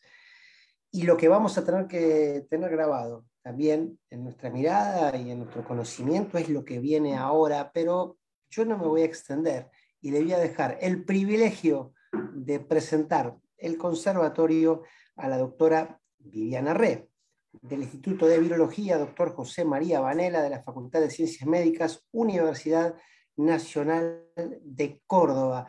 Viviana, me debería haber puesto un smoking yo para este momento, pero te lo dejo todo a vos. Bueno, muchas gracias. Eh, le voy a dar lugar al conversatorio eh, del que hablábamos, vacunación en tiempos de pandemia, sarampión y COVID, qué debemos hacer. Eh, y para eso les voy a presentar a, a todas las personas que van a estar hablando un poco y, y, conversando sobre el tema. primero quería presentar a la doctora Elsa Master, jefa del servicio respiratorio del Instituto Anlis Malbrán, que es el Laboratorio Nacional de Referencia para el Ministerio de Salud de Enfermedades Respiratorias Virales y también para sarampión y rubiola, responsable del Centro Nacional de Influenza para la OMS y del Laboratorio Nacional de Referencia de Sarampión y Rubiola para OMS, directora de la maestría en Microbiología Molecular de UNSAM Anlis, profesora de Virología Clínica de la Facultad de Ciencias Exactas de la Universidad Nacional de La Plata. Hola Elsa, gusto tenerte acá. Eh, bueno, también, también voy a presentar a la profesora doctora Silvia González Ayala, profesora titular de la Cátedra de Infectología de la Facultad de Ciencias Médicas, Universidad Nacional de La Plata, profesora titular de la Cátedra de Infecciones de Perinatología, Facultad de Ciencias de la Salud de la Universidad Católica de La Plata, integrante de la Comisión de Seguridad en Vacunas del Ministerio de Salud, integrante de la Comisión Nacional para la Eliminación del Sarampión Rubiola y del Síndrome de Rubiola Congénita del Ministerio de Salud de Nación, y la Comisión Nacional, integrante de las comisiones de vacunas SADIP y, SADIP, eh, de, SADIP, perdón, y SADIP en seguridad de vacunas. También mucho gusto y muchas gracias por, estar. Eh, también voy a presentar a la doctora Andrea Uboldi, médica pediatra, infectóloga, ex ministra de Salud de Santa Fe en el periodo 2017-2019, integrante de CONAIN, miembro de la Sociedad Argentina de Pediatría, de la Sociedad Argentina de Vacunología y Epidemiología. Buenas tardes. y al doctor eh, Tomás Orduna, jefe del Servicio de Medicina Tropical y Medicina de Viajero en el Hospital de Infecciosas Muñiz de Buenos Aires. Eh, bueno, les agradezco su, presencia y un placer, un gusto tenerlos. Eh, como primera medida, la doctora Elsa Baumaster nos va a compartir un común cuadro de situación breve de, del conversatorio que vamos a tener hoy y la idea un poco es que después eh, el resto de los panelistas nos, eh, opinen, digamos, respecto de lo, que, de lo que la doctora Elsa nos va a mostrar y activemos una conversación y por medio de preguntas que nos van a hacer la audiencia o las mismas preguntas que vayan surgiendo entre nosotros. Así que, bueno, les agradezco de nuevo y, y Elsa, eh, te damos lugar a, a tu cuadro de, al, al cuadro de situación que nos va a presentar.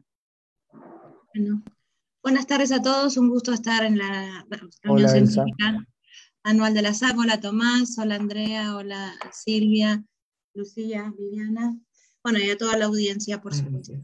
Eh, muy rápidamente yo preparé así unas diapos que no son muy elegantes, le voy a decir, porque no tuve mucho tiempo, eh, para que empecemos a conversar algo de lo que está pasando con sarampión. Este, si me permiten compartir pantalla, ¿puedo?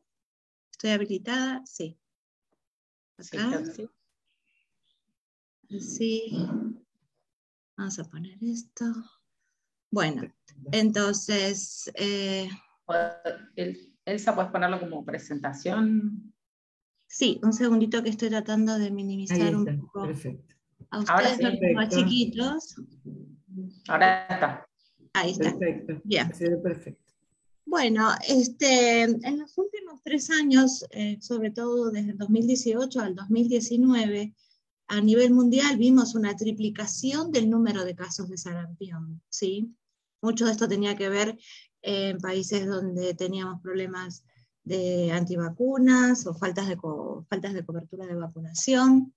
Eh, en estos dos años nuestro país sufrió un, brote en el 2018 con transmisión local y esto no ocurría desde hacía mucho tiempo realmente. Y después en el 2019 esto comienza otra vez y recién logramos controlar este brote a mediados del 2020. ¿sí? Eh, y como ustedes pueden ver, en el resto del mundo también se registraban en ese periodo del 2019 una cantidad muy importante de casos de sarampión sin más que recordar que el sarampión es una enfermedad que puede matar, ¿sí? es, es una enfermedad que puede eh, ser grave, así que afortunadamente está la iniciativa que tuvo la OMS de tratar de eh, erradicar el sarampión y nosotros tenemos eh, la suerte después de muchísimo trabajo de haber conseguido la situación de eliminación en las Américas para este virus, así que esto es una situación que tenemos que contemplar en esta, en esta etapa que nos toca atravesar de pandemia. Em, sabemos que los números de casos van de la mano entonces este, de, la, de la mortalidad. Y en 2019 fallecieron 207.500, en su mayoría niños, por sarampión. Em, en 2020, en la región de las Américas, eh, se produjeron alrededor de 8.700 casos, 9, 11 fallecimientos. La mayoría de los casos estuvieron ubicados en, Brasil, Argentina contribuyó también a ese número de casos y en Estados Unidos también y Venezuela. Y ya en el año 2021 eh, este número de casos bajó, eh, tenemos alrededor de eh, Brasil con 619 casos, todavía Brasil continúa y sostiene el brote que inició en el 2018 y no logró controlar hasta el momento, ¿sí? con dos fallecimientos. Y em, además Estados Unidos tiene casos confirmados y eh, la Guayana francesa también. Esos son los tres países que en las Américas en 2021 han registrado casos. El resto es por suerte, o sí, yo creo que es por suerte, ¿no? En estas condiciones, eh, no ha registrado casos y continúa entonces en una buena situación. Acá podemos ver, fíjense, desde el comienzo del año, Brasil estaba realmente continuando la cantidad de casos de manera importante que tenía en 2020 y este, estos continuaron, ahora ya a fin de, este año eh, esos casos descendieron. Eh, algo muy importante que tenemos que considerar es la tasa de notificación del caso sospechoso, porque si no sospechamos, no podemos encontrar los casos, diagnosticarlos y de esa manera poder interrumpir cadenas de transmisión. Y este, no quiere decir entonces que si no, no comunicamos casos, no tenemos ninguna enfermedad febril exantemática, porque un caso sospechoso es un caso que tiene eh, cualquier caso con exantema y fiebre, ¿verdad? Entonces, eh, lo que vemos es que eh, se ha producido una disminución muy importante en las tasas de notificación de casos sospechosos. Por lo menos tenemos que tener dos casos cada 100.000 habitantes y fíjense, pocos países eh, en el 2021 están logrando alcanzar ese número de casos. O sea que la pandemia terminó también con todas las enfermedades exantemáticas. Y lo más grave es esto, que es la variación, eh, mejor dicho, la disminución en, la, vacunación. Acá podemos ver eh, cómo eh, la gran cantidad de países de las Américas ¿sí? están con variaciones negativas, o sea, quiere decir que están vacunando menos que lo que vacunaban antes con respecto a los años anteriores. Perdón. pocos países logran realmente tener uno, digamos, un porcentaje de variación positivo con respecto a los años anteriores en la administración de la primera dosis de la MMR. Y con la segunda dosis, que es la entrada al nivel, a la escuela, a los seis años, sí, em, aún, esto aún se agrava más. Eh, así que realmente la situación de, coberturas de vacunación lo tenemos que, que ver muy profundamente de qué manera lo podemos mejorar. Eh, UNICEF eh, realmente está muy preocupado por esta situación, justamente porque eh, las coberturas de vacunación están disminuyendo a nivel mundial, especialmente este último año, así que esto es realmente un gran desafío. Y la respuesta mundial a la pandemia no debe agravar la crisis de sarampión, tenemos que tratar de dar visibilidad a, este problema y trabajar para poder eh, mejorar esta situación. Y por supuesto tratar de encontrar soluciones para poder este, abordar esta problemática. Nada más. Aquí está. Listo.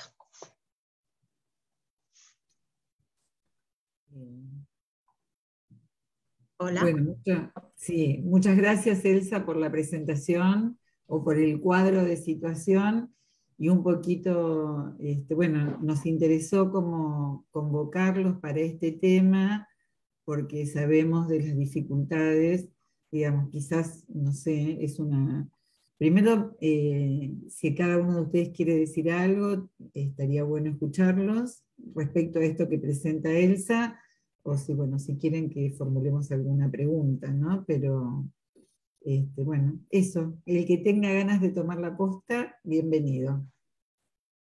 Qué bueno que todos levantan la mano. Sí, doctora Ayala. Tomás. Somos todos habladores. Está muy bien, esa es la idea. Por suerte, por suerte. bueno. Doctora Ayala quiere le doy la palabra. quiere empezar tiene la palabra, sí. Bueno, muy bien. Buenas tardes a todos, un gusto. Muchísimas gracias por la, por la invitación. Es un lujo realmente estar con ustedes y Elsa por la, eh, por la reseña. Eh, tenemos que decir que en nuestro país eh, la situación con respecto a la vacunación es muy preocupante porque ya tenemos acumulada más de una cohorte de nacidos vivos sin la vacunación triple viral, lo cual nos pone en riesgo, por supuesto, de reintroducción, como nos pasó en el 2019 eh, de, de sarampión. Esto es muy preocupante, pero si bien la vacunación, la disminución de coberturas se acentuó en el 2020, en el que todos los recursos prácticamente fueron volcados a la atención de la pandemia con el cierre o la función eh, muy irregular de los puestos eh, de vacunación, las coberturas con las vacunas triple viral, tanto la de los 12 meses como el ingreso escolar, estaban en caída desde el año 2015. ¿eh? Ni siquiera en el 2019, con la epidemia en curso en el segundo semestre, que como señalaba Elsa, se extendió hasta marzo con, con el último caso de sarampión confirmado, bueno, y después el, periodo libre, por eso él se hacía referencia a que se dio por terminado en, junio, eh, nos preocupa muchísimo, porque tenemos otros agravantes, además de la dantesca caída de las coberturas, que es la situación de pobreza y de desnutrición. Estos dos componentes eh, sociales y ambientales, por el hacinamiento en las condiciones de vivienda, pueden retrotraernos a los que trabajamos en el área pediátrica, a lo que vivimos en las epidemias eh, de sarampión como la más grande y letal que tuvo nuestro país, que fue la epidemia de 1975 a 1977, sin la condición de pobreza que tenemos hoy. ¿eh? Pero sí con la base de la eh, malnutrición, pero tampoco tan acentuada como esto. Entonces, realmente es muy preocupante, hay que asumir la situación y salir a trabajar con enunciados de hay que aumentar las coberturas, no vamos a ningún lado. Acá la única, la única posibilidad es salir a trabajar en territorio, no quedarnos en el puesto esperando que las personas vayan, porque tienen otra prioridad que es una comida al día. Entonces hay que salir a trabajar en territorio y para eso tiene que estar la decisión política y la asignación de recursos. Y el personal está muy agobiado porque es el mismo personal tal cual pasa en los laboratorios, ¿no es cierto?, para la vigilancia epidemiológica, eh, los vacunadores, para salir a trabajar en territorio. O sea que estamos realmente en una situación de muchísimo, muy alto riesgo y muy compleja para resolver. Gracias. Gracias. Gracias, gracias a usted. Eh, doctor Orduña. No, no, no, Andrea estaba.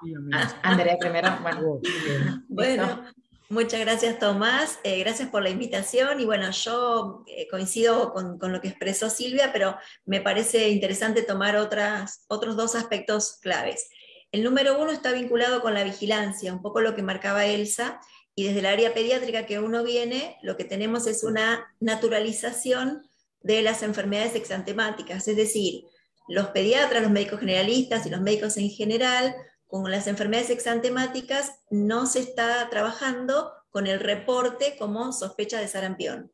Entonces, es habitual que uno vea un niño que se le diagnostica sexta, quinta o algún exantema viral, pero que no se haya reportado como sarampión con toma de muestra. Entonces digo, esto es clave porque muchas de las generaciones que tenemos ahora de jóvenes no han visto sarampión eh, y están acostumbrados a otras enfermedades que son eh, de distinto diagnóstico.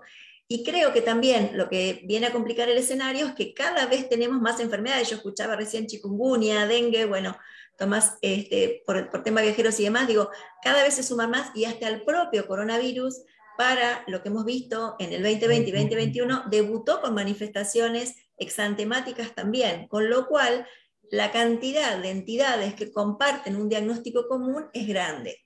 Lo segundo eh, no podemos esperar el sarampión típico, porque hemos visto, y en el último brote Argentina lo vio, que cuando uno tiene la introducción eh, de una vacuna en calendario, esta, esta vacuna durante el tiempo modifica la presentación de enfermedades. Digo, lo vamos a ver ahora seguramente con Omicron. Pero digo, esperar el caso claro, típico del triple catarro con fiebre alta y demás, no es lo que tiene que ser para que nosotros lleguemos a tiempo y evitemos un brote. Lo otro que me parece interesante es que aprendimos con coronavirus el R0 o el RO y todo el mundo enloquecido con la transmisibilidad cuando es sarampión una de las enfermedades más transmisibles con más posibilidad de que aún en los espacios donde alguien haya estado, quede este virus y, pueda hacer esta, esta contagiosidad. Y el otro aspecto que me parece también importante es la percepción de enfermedad por la comunidad. Sabemos todos que si la gente percibe a la enfermedad como un problema, adhiere rápidamente a vacunarse. Pero si esta enfermedad impresiona que desapareció, y en este sentido el rol de las vacunas para el control y eliminación es clave, la gente o la comunidad o la sociedad no comprende que vamos a tener o que podemos tener sarampión. ¿Por qué? Porque todo el mundo dice, ya pasó sarampión, era cuando éramos chicos, no, no, va, no va a estar ahora. Entonces, el no percibir que tenemos un riesgo, y esto también es importante desde la comunicación, va a ser difícil que la propia sociedad pida la vacuna o eh, acceda a la vacunación. Así que creo que tomaría estas dos claves para este contexto. Eh, aparte de la cobertura, las dificultades para la notificación y la batería de enfermedades feriles exantemáticas el rol de trabajar con los equipos de salud y por otro lado tomaría la percepción, la importancia o el desconocimiento de parte de la sociedad que esta enfermedad está controlada y eliminada, pero básicamente la posibilidad, como decía Silvia, de reaparecer por la cantidad de niños que nos han, y niñas que nos han quedado sin la dosis es real. Excelente. ¿Puedo hacer una pregunta? ¿Cuántos casos tuvimos este año de sarampión? ¿Este año? Ninguno. No, no, es que, no hablo, es, peor, no es que no hubo casos. Los laboratorios no recibimos para análisis de casos sospechosos. No, no, no, no, no, eso es otra cosa, Silvia. Eh, Elsa, eso es vigilancia. Buenas tardes a todas y todos. Buenas tardes, Tomás. Porque no lo dije. Muchas gracias por la invitación al conversatorio. Eh, no encontraba el link antes, después a último momento lo encontré, gracias Silvia, también me lo mandaste, Andrea Mangano que debe estar por ahí. Eh, pero digo, no hubo ningún caso confirmado. Donde hay un caso de sarampión, con estas bajas coberturas de primera segunda dosis, hubiera estallado en muchos lugares. No pasó. Porque una de las cosas que no ocurrió es la llegada desde afuera de casos con sarampión, producto de las fronteras cerradas. Entonces, desde mi sesgo viajero, ¿sí? Este, eh, en, digamos, en, la praxis de medicina del viajero y porque me gusta viajar, pero en realidad estuvimos bastante encerraditos. El tema es que ahora se abrieron las fronteras.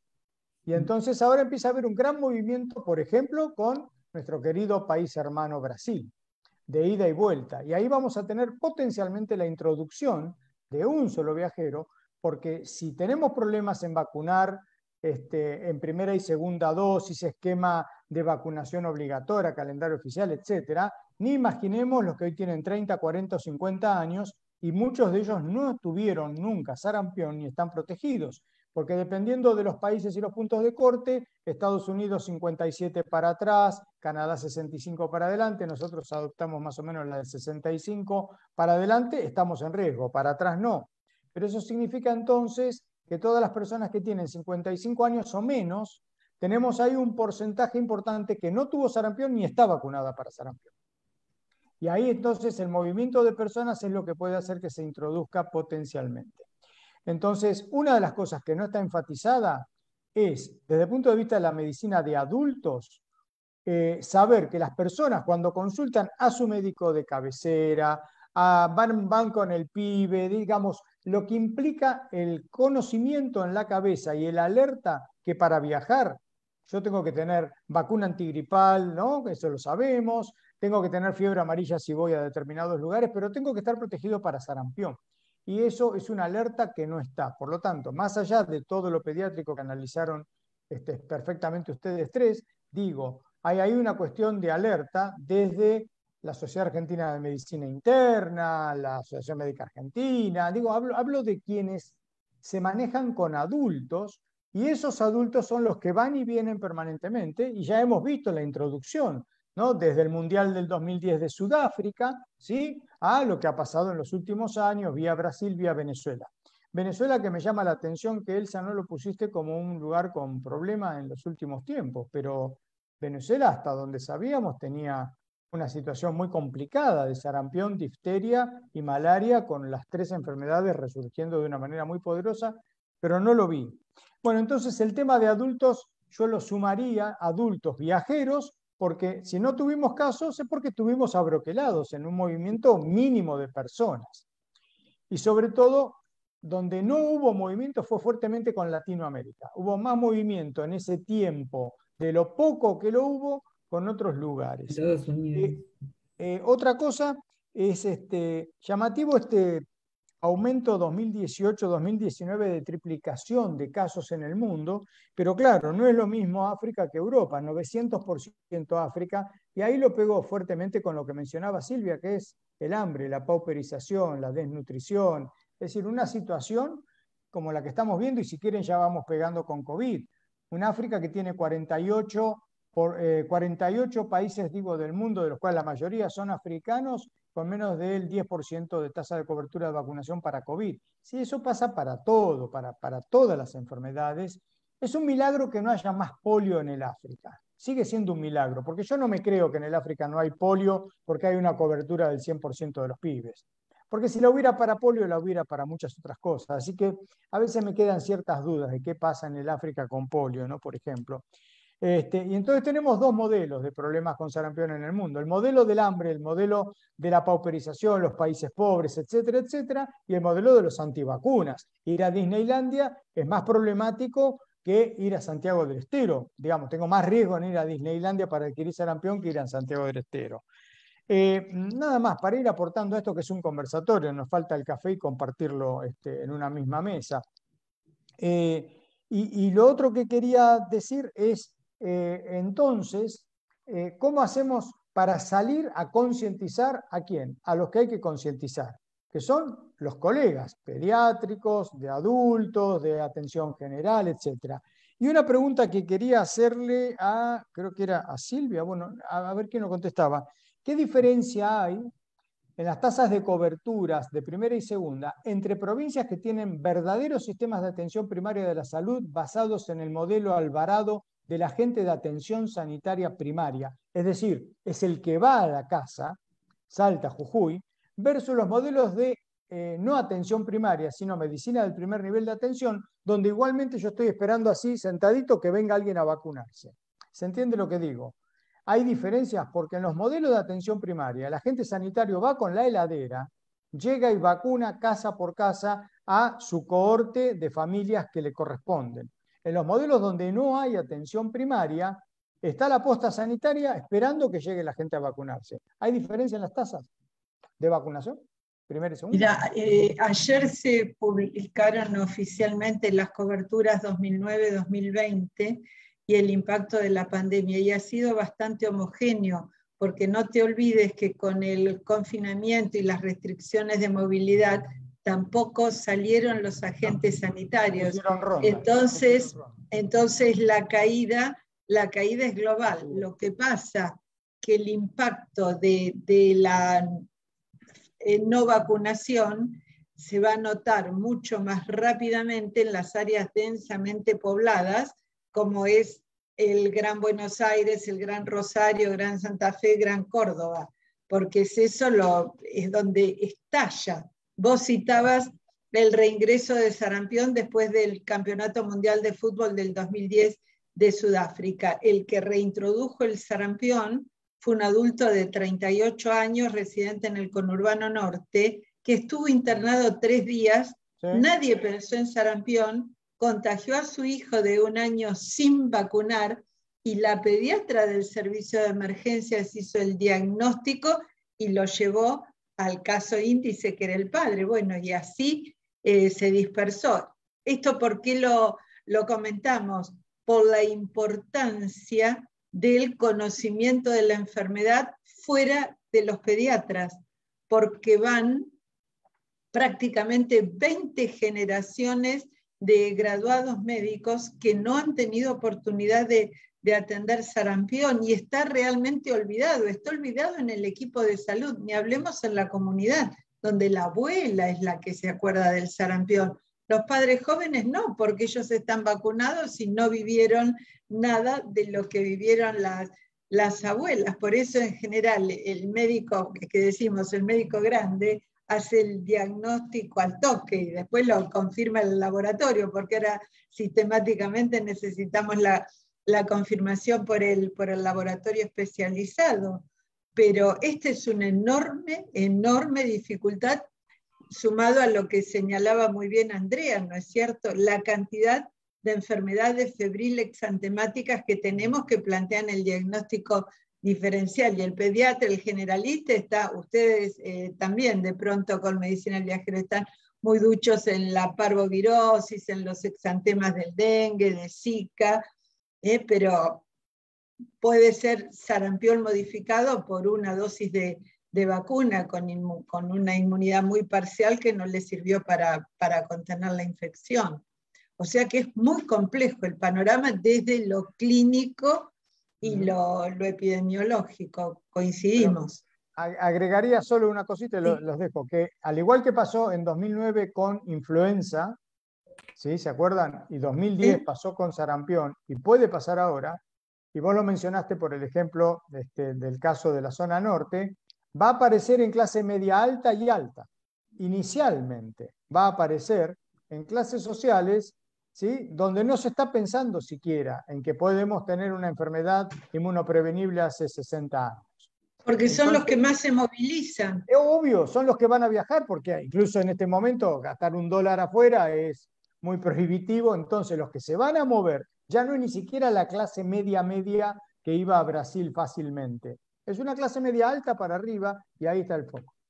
No, pero para complementar eh, eh, tu, tu, planteo, Tomás, es precisamente en las clases más acomodadas donde hay mayor resistencia a la vacunación, porque quedan eh, hipismo residual, porque son veganos, porque practican lo lo estamos viendo. las clases altas son las que tienen las coberturas más bajas de vacunación. Nosotros siempre decíamos que eh, estaban más vacunados los habitantes del barrio popular La Cava en San Isidro que los de las lomas de San Isidro, para dar ese contraste, ¿no es cierto?, que hay en un municipio del, barrio norte, pero es la, es la realidad.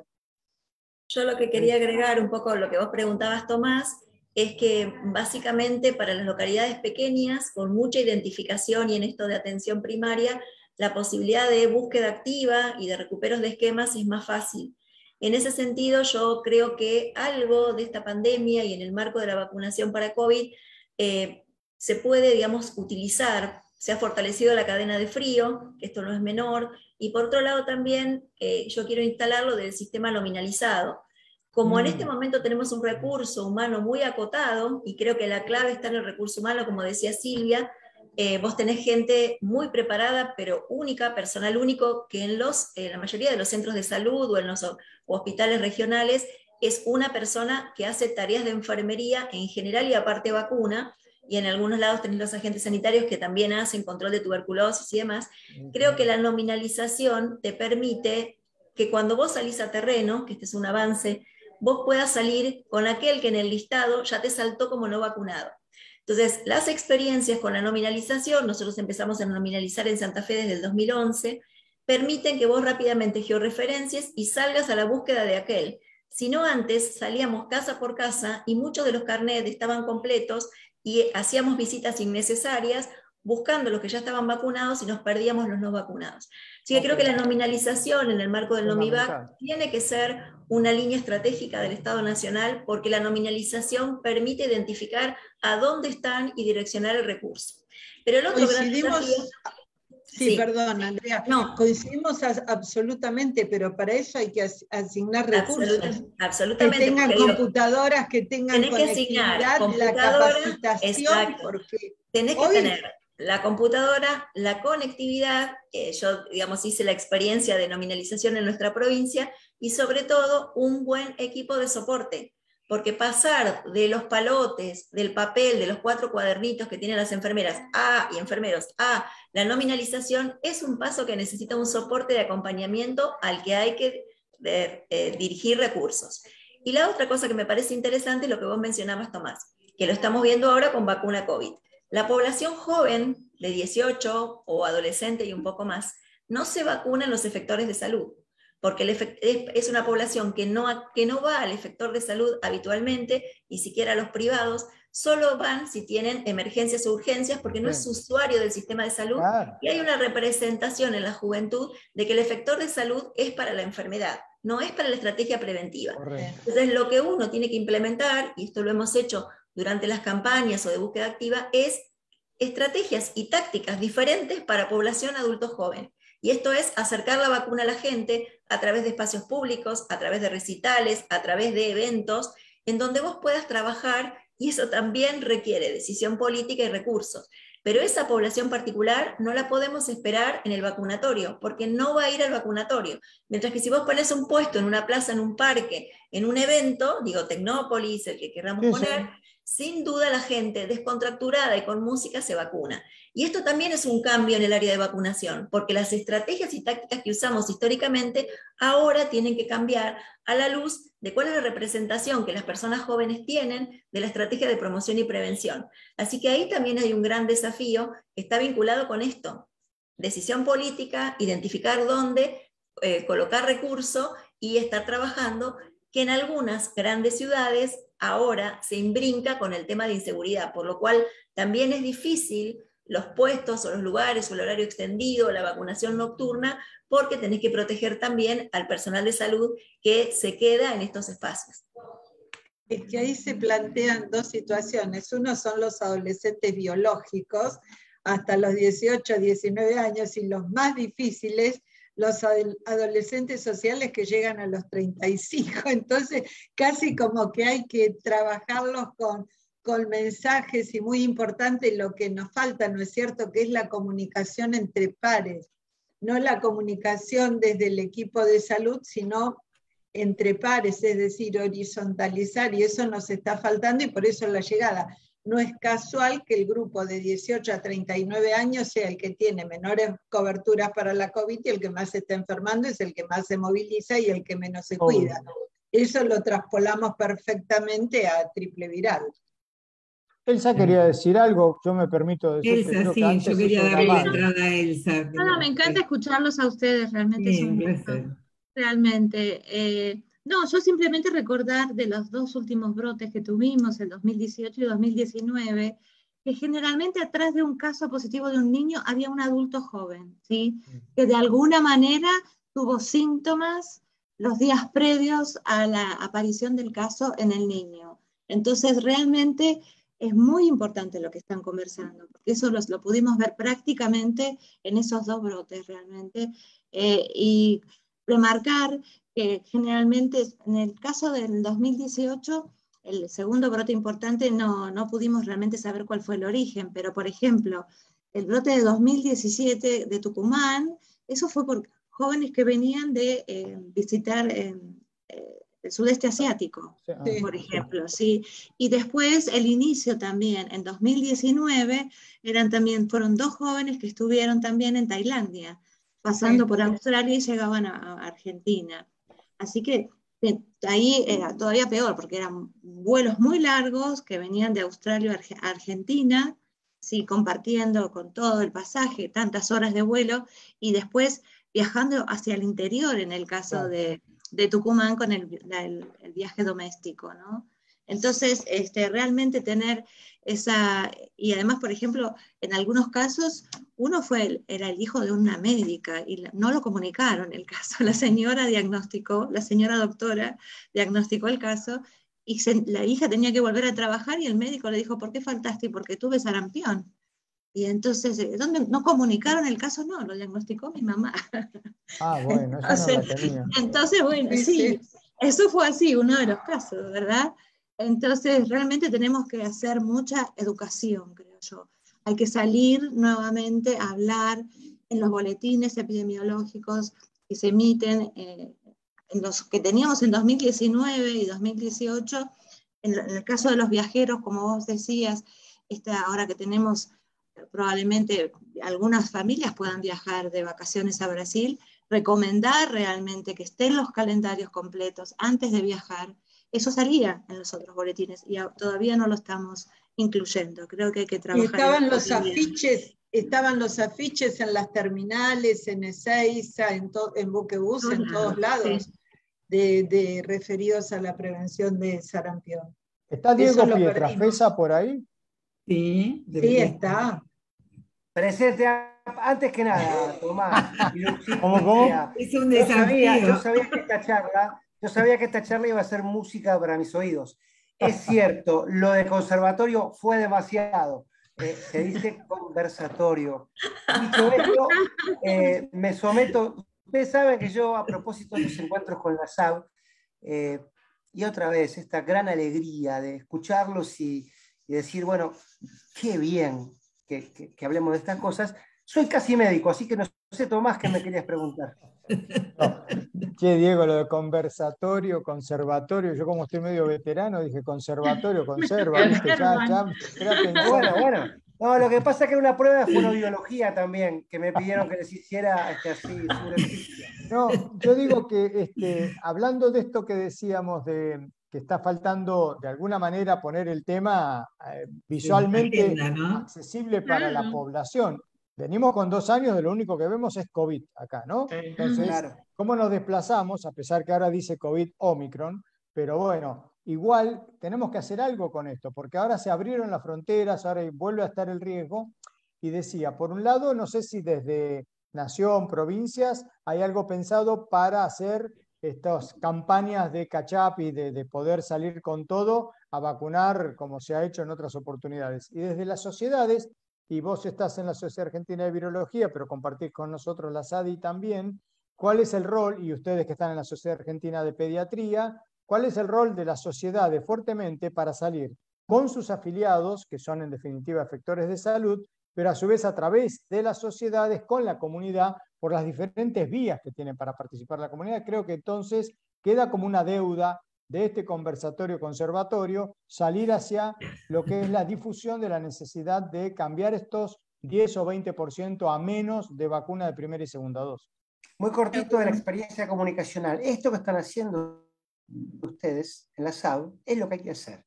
Generar documentos, generar material, primero que nada, para los propios profesionales. ¿Eh? A veces nos confundimos, nosotros a veces lo hablamos en la SADI, somos todos sociedades científicas. Nuestro primer compromiso es con nuestros profesionales, pero eso no nos quita el compromiso que tenemos con la comunidad. Lo que pasa, querido Tomás, vos que sos acá el menos joven, creo, de todos nosotros, que a veces lamentablemente con la buena fe, con la buena fe quiero decir, no alcanza, porque, y esto lo quiero decir en lenguaje muy llano, si vos decís que no tuvimos sarampión en los últimos dos años, ningún medio te va a dar bola. Si vos decís que una cucaracha cósmica que baja en un paracaídas nos va a matar a todos, vas a tener 50 personas en tu casa. Eso lamentablemente, perdonen la humorada, es así de cruel y así de verdadero. Entonces, mi, modestísima sugerencia es la convocatoria, no desanimarnos. Quiero decir, por más que no nos den atención, nuestro trabajo moral y profesional es de hacer lo que tenemos que hacer.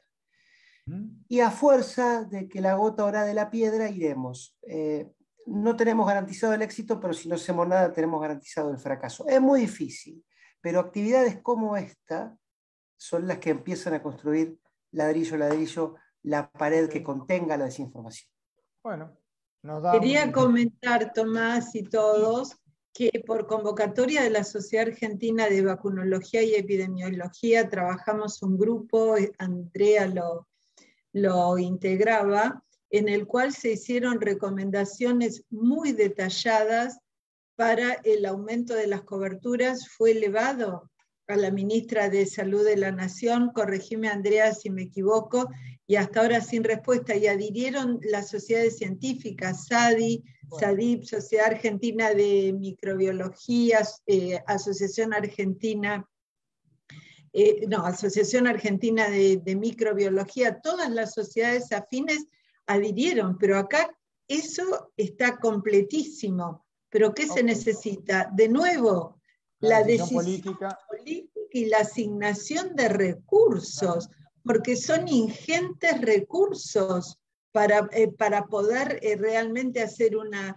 un, un proceso intenso de captura para completar eh, los esquemas de vacunación, porque hay que salir con todas las vacunas. No puedo salir ¿Es posible en el 2022? vacunemos contra polio y triple viral. No, eso es insuficiente. Estamos teniendo casos de coqueluche. ¿Por qué? Porque no se vacuna la gestante, no se vacunan los niños. Entonces, tiene que ser integral y simultáneo, pero son muchos recursos los que se necesitan. Sí, ¿Ven una posibilidad en el 2022? Uy, perdón, Lucía. No, lo que pasa es que para, para, completar lo de Silvia, el gran tema de Argentina es la salud federal.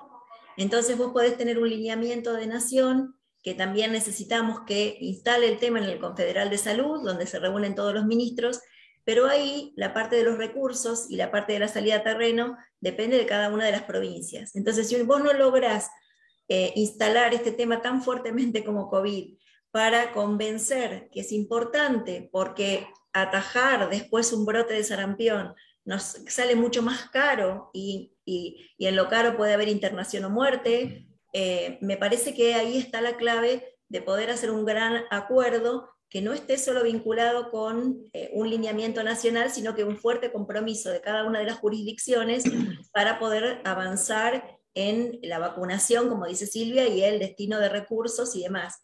Y en este sentido, yo vuelvo a marcar, eh, COVID nos dio vacunadores eventuales, nos dio eh, colaboradores, nos dio espacios amplios, con lo cual hay un desarrollo de estructura de, eh, de personas que pueden sumarse. El calendario no es fácil de leer, pero digo, vos podés ir buscando las competencias de cada una de las personas que tenés para redireccionarlas hacia dónde ubicar a cada uno para que aquellos que saben más lean el carnet y que aquellos que tengan que aplicar una vacuna subcutánea o una intramuscular en niños sean los más expertos. Entonces, me parece que lo que hay que ya es planificar cómo armar esta, esta estrategia de recupero de coberturas, porque si no, vamos a tener que atajar penales de, como dice Silvia, coqueluche, hemos visto morir niños por coqueluche, em, sarampión, eh, que, reaparezca hepatitis A, que se está cayendo también la cobertura de hepatitis A, digo, un logro increíble para todos. Entonces me parece que eh, creo que el 2022 es el momento, durante este momento que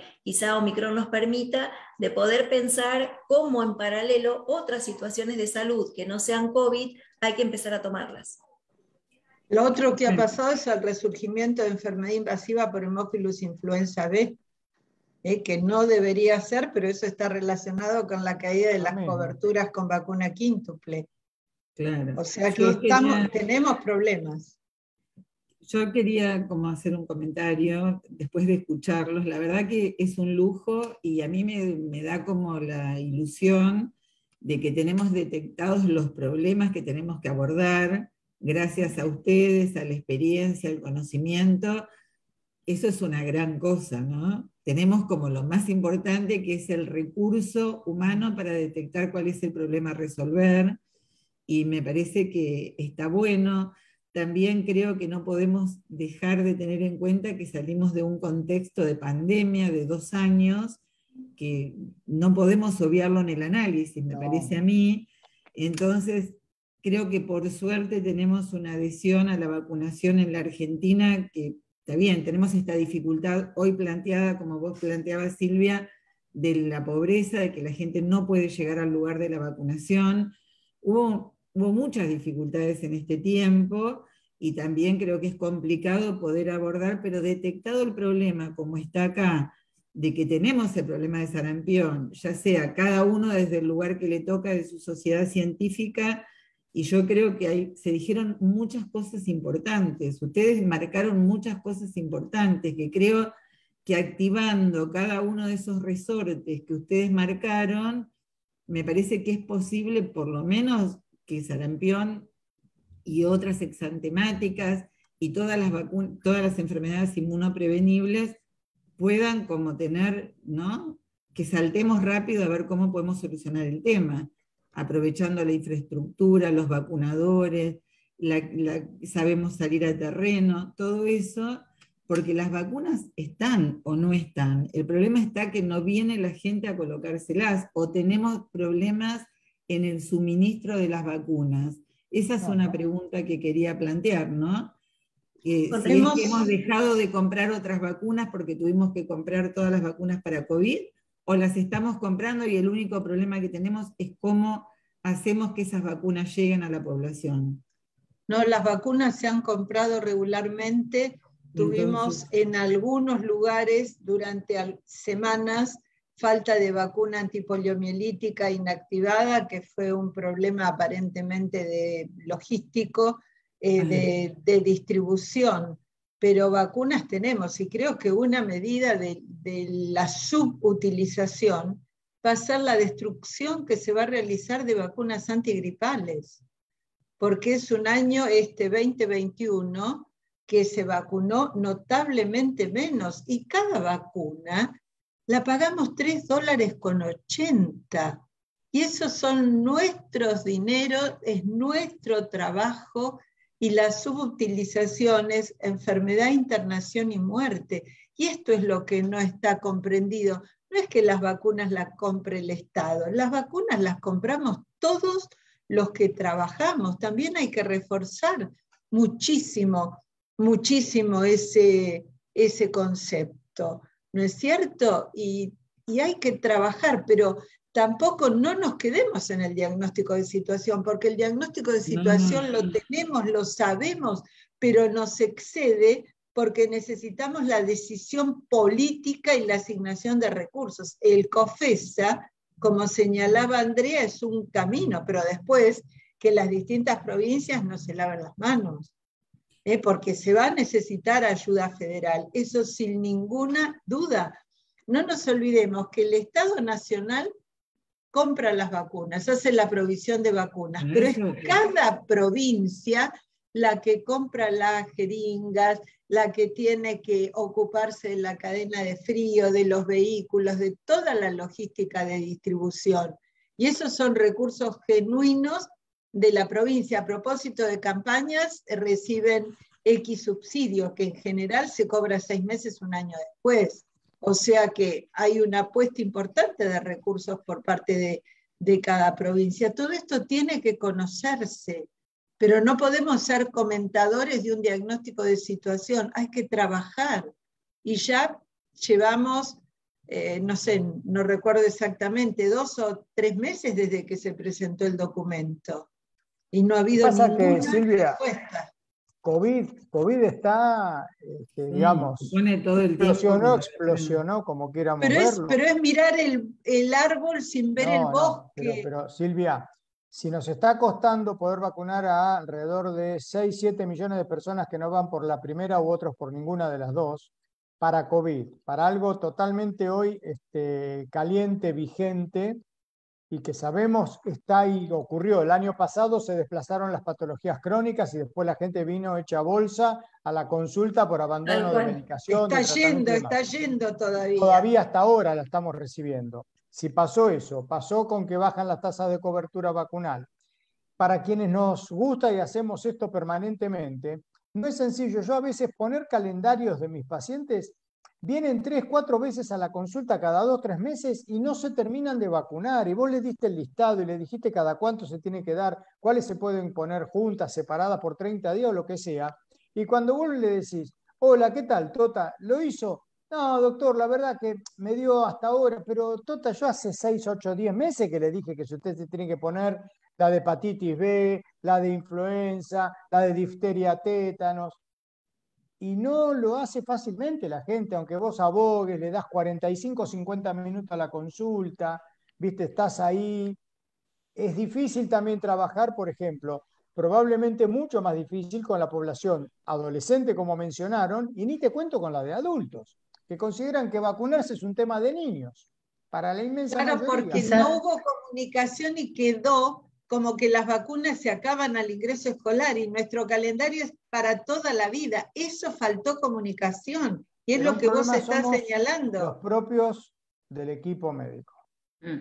Quizás por ahí ahora. Un reumatólogo no vacuna a un paciente correctamente, un neumonólogo no indica las vacunas de neumo y gripe. Bueno, entonces ¿qué? Y los cardiólogos también.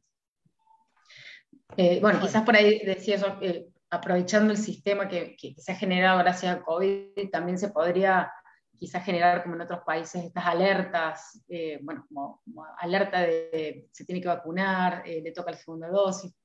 algo más como para agregar. Me acordé de algo, Viviana, cuando decías eso.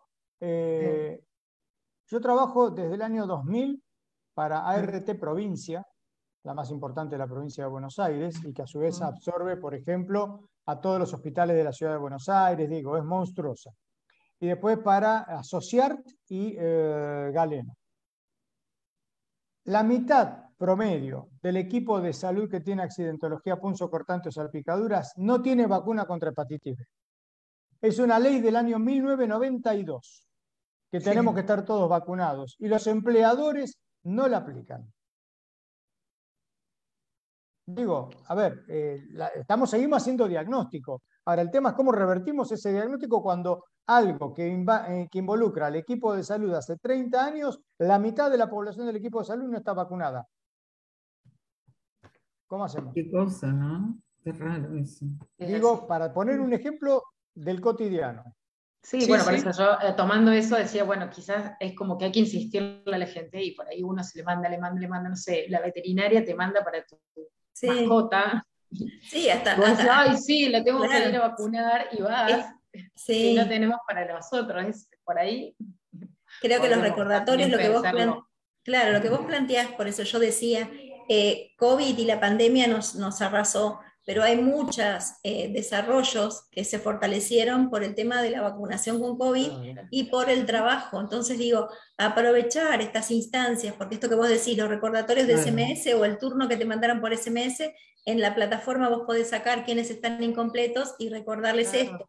Digo, el uso de las redes con todo lo que significó la guerra de redes y la infodemia, también es interesante para mini spots que permitan recircularse. La gente está en redes todo el tiempo y recibe y capta información certera e información errónea, pero también esta posibilidad de en lo cotidiano del celular tener, este, digamos, recordatorios, hay un montón de estrategias que también corresponde a equipos de comunicación que siempre uno tiene que tener más allá de nosotros, porque nosotros no somos comunicadores digamos, en, la lógica de pensar campañas o pensar estrategias. Creo que nosotros podemos acompañar la planificación de una campaña de comunicación.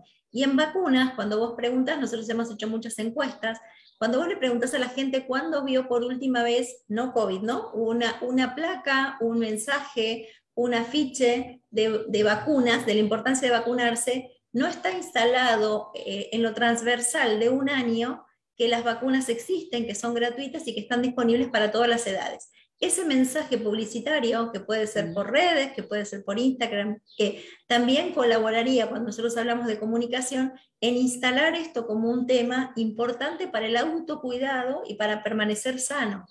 Eh, así que bueno, esta creo que, creo que es el momento de capitalizar los, los, esfuerzos que se hicieron en COVID, las inversiones que se hicieron en COVID, para poder también levantar la posibilidad de vacunas para todas las edades, para todos los momentos de enfermedades que si reaparecen nos van a traer más dolor de cabeza. Y creo que esto que, mencionaba Lucía, el diagnóstico de situación está, y creo que en este momento, antes que llegue el invierno, deberíamos tener una buena planificación para ir avanzando. ¿no? Sí. Elsa, gracias Andrea. Tipo, Elsa, vos querés decir algo, tipo, desde tu lugar, ¿cómo lo ves? Tipo, todo esto que eh, bueno, no, yo creo que realmente lo que tenemos que hacer es eh, comunicar, alertar, dar a conocer. Yo sé que las vacunas son sus propias enemigas porque han logrado que la vacuna pierda, haya la, vacuna ha logrado que perdamos eh, el sentido de la gravedad de la enfermedad, ¿verdad? Porque no vemos casos graves, porque no vemos niños que se mueren como se veían antes. Entonces, este, tenemos que reforzar justamente eso, eh, reforzar el hecho de la necesidad de que tenemos que estar vacunados, que ahora hay muchísimas aplicaciones que, como decía recién Andrea, por el teléfono te puede llegar información. Eh, Córdoba en el 2019, creo que fue, hizo una experiencia muy linda que fue la noche de las vacunas. Hacemos la noche de los museos, por ejemplo, ¿sí? La noche de las vacunas. Fue muy interesante, realmente la cantidad de gente que se acercó a completar calendarios en ese evento fue muy importante. Entonces, creo que ese tipo de convocatorias se pueden hacer especialmente para que los jóvenes vayan a vacunarse creo que es un lugar, o si no se vacunan, por lo menos toman algún contacto con la gravedad de la enfermedad y por ahí después lo piensan y se van a vacunar o les piden a los padres o de alguna manera se pueden terminar vacunando. Así que yo creo que eh, tenemos, sabemos, sabemos qué es lo que falta, ¿sí? Realmente. Entonces hay que tratar de acercar este, soluciones a las autoridades para ver si las pueden considerar para su implementación. Sí, porque no solamente hay que pedir, sino creo yo que en estos momentos también hay que eh, solicitar y acompañar eso con propuestas, ¿verdad? Sí, yo es lo que, hemos hecho. Sí, sí, ustedes desde, sí, desde la sociedad lo han hecho. Siempre están haciendo propuestas muy positivas, siempre. Sí, este, yo creo que, bueno, que quizás lo que tendríamos que, podemos hacer, por lo menos, no sé, a mí me, viste que uno queda como así como enganchado con la cosa y ver qué es lo que puede hacer. Sería bueno como juntarnos o un poquito y ver cómo hacemos para cada uno o empezar a diagramar cosas como para poder poner el tema en agenda y esto, ¿no? Lo que decimos, todo lo que se ha dicho, como ver que tenemos como mucha posibilidad de encontrarle alguna vuelta a la cosa, usando lo que tenemos, y también esto, ¿no? Lo que se dijo acá también, a ver cómo hacemos para que los médicos jóvenes que nunca han visto casos de sarampión aprendan a reconocerlo. Hay como, no sé, a mí me ha pasado en alguna circunstancia de alguien conocido que, por ejemplo, no sé, fue a, hacerse ver porque le aparecieron le aparecieron unos granitos y le dieron enseguida ciclovir como que era un zóster y era que le había picado un bichito porque había estado acostada arriba de un pasto en el jardín. Entonces creo que hay un problema con todas estas patologías que vemos o estas infecciones exantemáticas, quizás es complicado, entonces también habría que pensarlo desde el algoritmo del diagnóstico, cuál sería lo más aconsejado dependiendo del nivel que tomen, ¿no? La importancia que esto sí, También repensar eso en lo que es la película de las carreras de medicina y asociadas, ¿verdad? Insistir realmente eh, ahí. Claro, también transmitirlo, claro. Seguro. Eh, bueno, no sé, Silvia, que sos profesora en, en, la universidad, supongo que ustedes lo mejor lo bajan a esto. Insistimos muchísimo, pero el problema es que los médicos tienen la misma memoria frágil que los argentinos. Entonces, argentinos, es como que, sí, sí, sí, sí, lo aplican. Es como que, no, no, pero es increíble y muy frustrante porque es en el pregrado y en el caso de las residencias de pediatría o de médicos generalistas, es en el posgrado también y uno los encuentra después o recibe la consulta y digo, ¿cómo no te acordás? ¿Te olvidaste? Porque se, le plantea así, ¿no? Manda ahora con, las fotos por WhatsApp. Mandan las fotos. Me dice, ¿cómo tan rápido tenés la sospecha diagnóstica? ¿Te parece? Es como que se escapó del libro, pero es así, pero no, no, es... Y tienen facilidades que nosotros no tuvimos porque hoy en cualquier página web pueden ver imágenes de lo que quieran y, verlo. ¿eh? Nosotros teníamos que esperar eh, la persona, ¿no es cierto? O ver la foto del libro en blanco y negro o en colores. Pero quiero decir que no, no se está aprovechando todas las posibilidades que hay hoy con, los medios para, para capacitación, realmente. Yo, yo, quiero comentar una anécdota porque nosotros tuvimos en Rosario un brote en el 2006 de rubiola y, y un poco quiero reivindicar que el, el médico que atendió a ese, ese, joven inicialmente pensó que era una reacción alérgica y lo citó a las 24 horas. Y cuando lo volvió a ver, por lo que me dijo, se acordó que habíamos hablado de las enfermedades feriles antemáticas y le pidió una muestra para rubiola. Y ese caso fue la posibilidad de que comenzara un brote en Rosario a partir de alguien que inicialmente pensó en reacción alérgica, pero luego hizo un clic y dijo, es una exantemática que hay que reportarla, y a partir de ahí largó el brote. Entonces digo, siempre creo que todo lo que uno insiste, lo que se trabaja, de alguna manera en algún lugar queda y es posible ir modificando esta realidad a través, como dijimos recién, de la comunicación, de la docencia, de las sociedades científicas, porque digamos, el calendario también, y era otra cosa que quería decir, cambió un montón. Y cuando vos hablas por ahí mm. con un adolescente o un adulto joven, ellos suponen que tienen el calendario que figura en el niño pequeño. Y muchos de las personas no tenían la triple viral en su momento o en el caso de los brotes de paperas, recibieron doble viral y no tienen protección para paperas, y hay como una naturalización de pensar que el calendario que tienen es el mismo que el niño pequeño.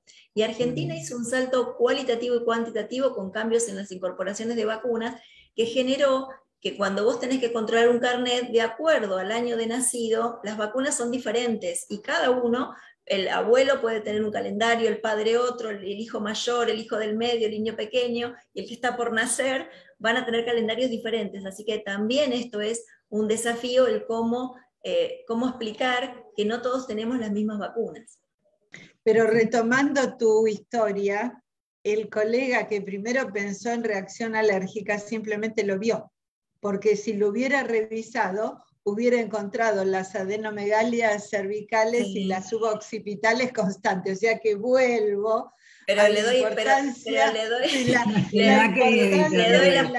la, posibilidad de decir, lo pensó Silvia. está bien, está bien, pero te quiero decir que la importancia de la capacitación, el examen físico completo, saber preguntar, saber escuchar, porque si no, si no lo pienso, no, de pronto lo revisaba, encontraba eso y ya miraba en, la primera consulta, pero hay que trabajar todo eso.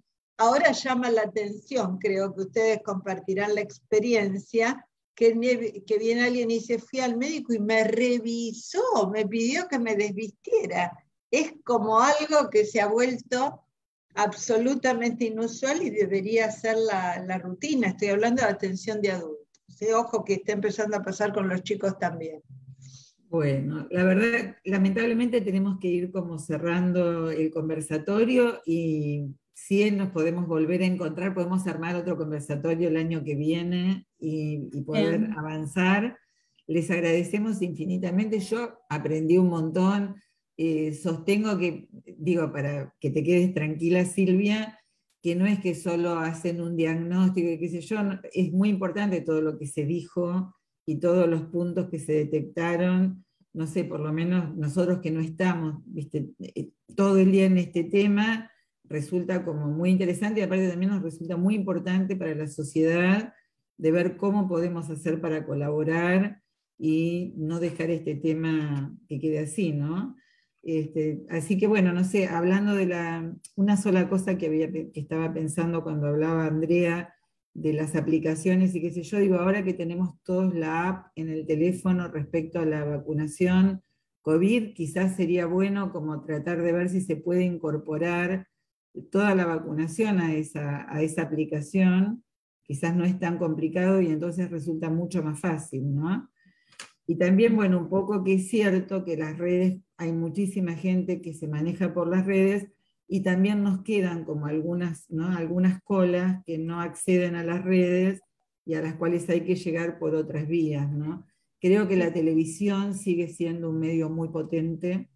Este, y la radio, la gente escucha muchísimo radio, muchísimo. La radio, también, la radio también es una, un gran medio que de mucho alcance, así que bueno, hay como varias puntas, así que la verdad, no sé, eh, Tomás, si querés decir alguna cosita más, alguno quiere decir algo más y si no vamos como cerrando. No, no, no, creo, creo que hay que enfatizar y son diferentes abordajes porque está el abordaje con la formación de grado, de posgrado, como se mencionó, el tema de las sociedades científicas, porque si los colegas no lo tienen como algo en la cabeza en cada una de las consultas, en cada una de las recorridas de los pacientes que están internados, muchos pacientes yo he visto salir en otras épocas, este, salir de los hospitales sin las vacunas al día, es decir, sin poner calendarios, perdiendo absolutamente la oportunidad, cuando alguien estuvo a veces tres, cuatro, seis meses en un hospital internado y salen sin vacunación. O sea, acá tenemos un problema nosotros, los profesionales. Y lo otro, por supuesto, es cómo hacen del Estado Nacional, los Estados provinciales y después el último efector en el medio de Iruya, en, a 3.000 metros de altura para que la vacuna llegue efectivamente al brazo. Bueno, el, tema es que hoy probablemente con esta modernización que nos da de alguna manera COVID, desde el NOMIVAC este, generalizado a todo lo que hace a los medios electrónicos y demás, debería mejorarse la accesibilidad a las vacunas. Eh, y ahora lo que falta es meterle pila, por supuesto, desde el Estado de Nación, provincias. En ese sentido, yo sigo pensando que está complejo todavía y me parece que tiene que pasar hasta por lo menos el otoño para que el tema vacuna COVID nos dé un poco la posibilidad de abrirse todo hacia otros horizontes, porque creo que en este momento, como le está pasando al resto del mundo, hay una premura con la vacunación eh, de COVID. Entonces, me parece que este es un momento muy difícil para meter el tema desde los estados. Pero nada de eso dice que no lo podemos hacer en los otros lugares. Formación de recurso humano y las sociedades. Y podríamos hacer algo en los medios. Eh, Diego, vos lo decías, pero yo creo que cada vez que uno tiene la posibilidad, y estamos algunos que por diferentes razones estamos comunicando todo el tema COVID, tratar siempre de meter, de hacer correr un poco, porque parte de lo que los medios tienen se lo damos nosotros. Y si nosotros colocamos el tema arriba de la mesa, es posible que algunos lo escuchen. Seguro, eso seguro. Bueno. yo también les eh, agradezco mucho. Muy, un conversatorio, conservatorio muy conversado, divino. Eh, la verdad es es muy fácil estar acá, no tenemos que hacer preguntas, ustedes hablan solos. la verdad es que las preguntas que llegaban era como que todo el mundo estaba sorprendido. Una de las cosas que más, bueno, les agradecen infinitamente, que les pareció muy, muy útil y bueno, todo el mundo preocupado si no habría que, bueno, primero dirigir como las campañas en forma, ¿no? Como más potente, las campañas de vacunación, y si habría que pensar en que pronto habría que hacer una campaña nacional de vacunación de sarampión. Sí, 2022. Eh, ver cómo se implementa eso. Es pensándola. Va a poder ser triple viral solo, insisto. Va a haber que salir con todas las vacunas. Sí, coincido. Con todas las vacunas. Bueno, está, perfecto. Sí, sí, sí creo que para, sumar a lo que decía Tomás, es complejo el escenario, pero la, digamos, la definición del Ministerio de Salud ha sido la simultaneidad de aplicación de vacunas COVID con otras vacunas.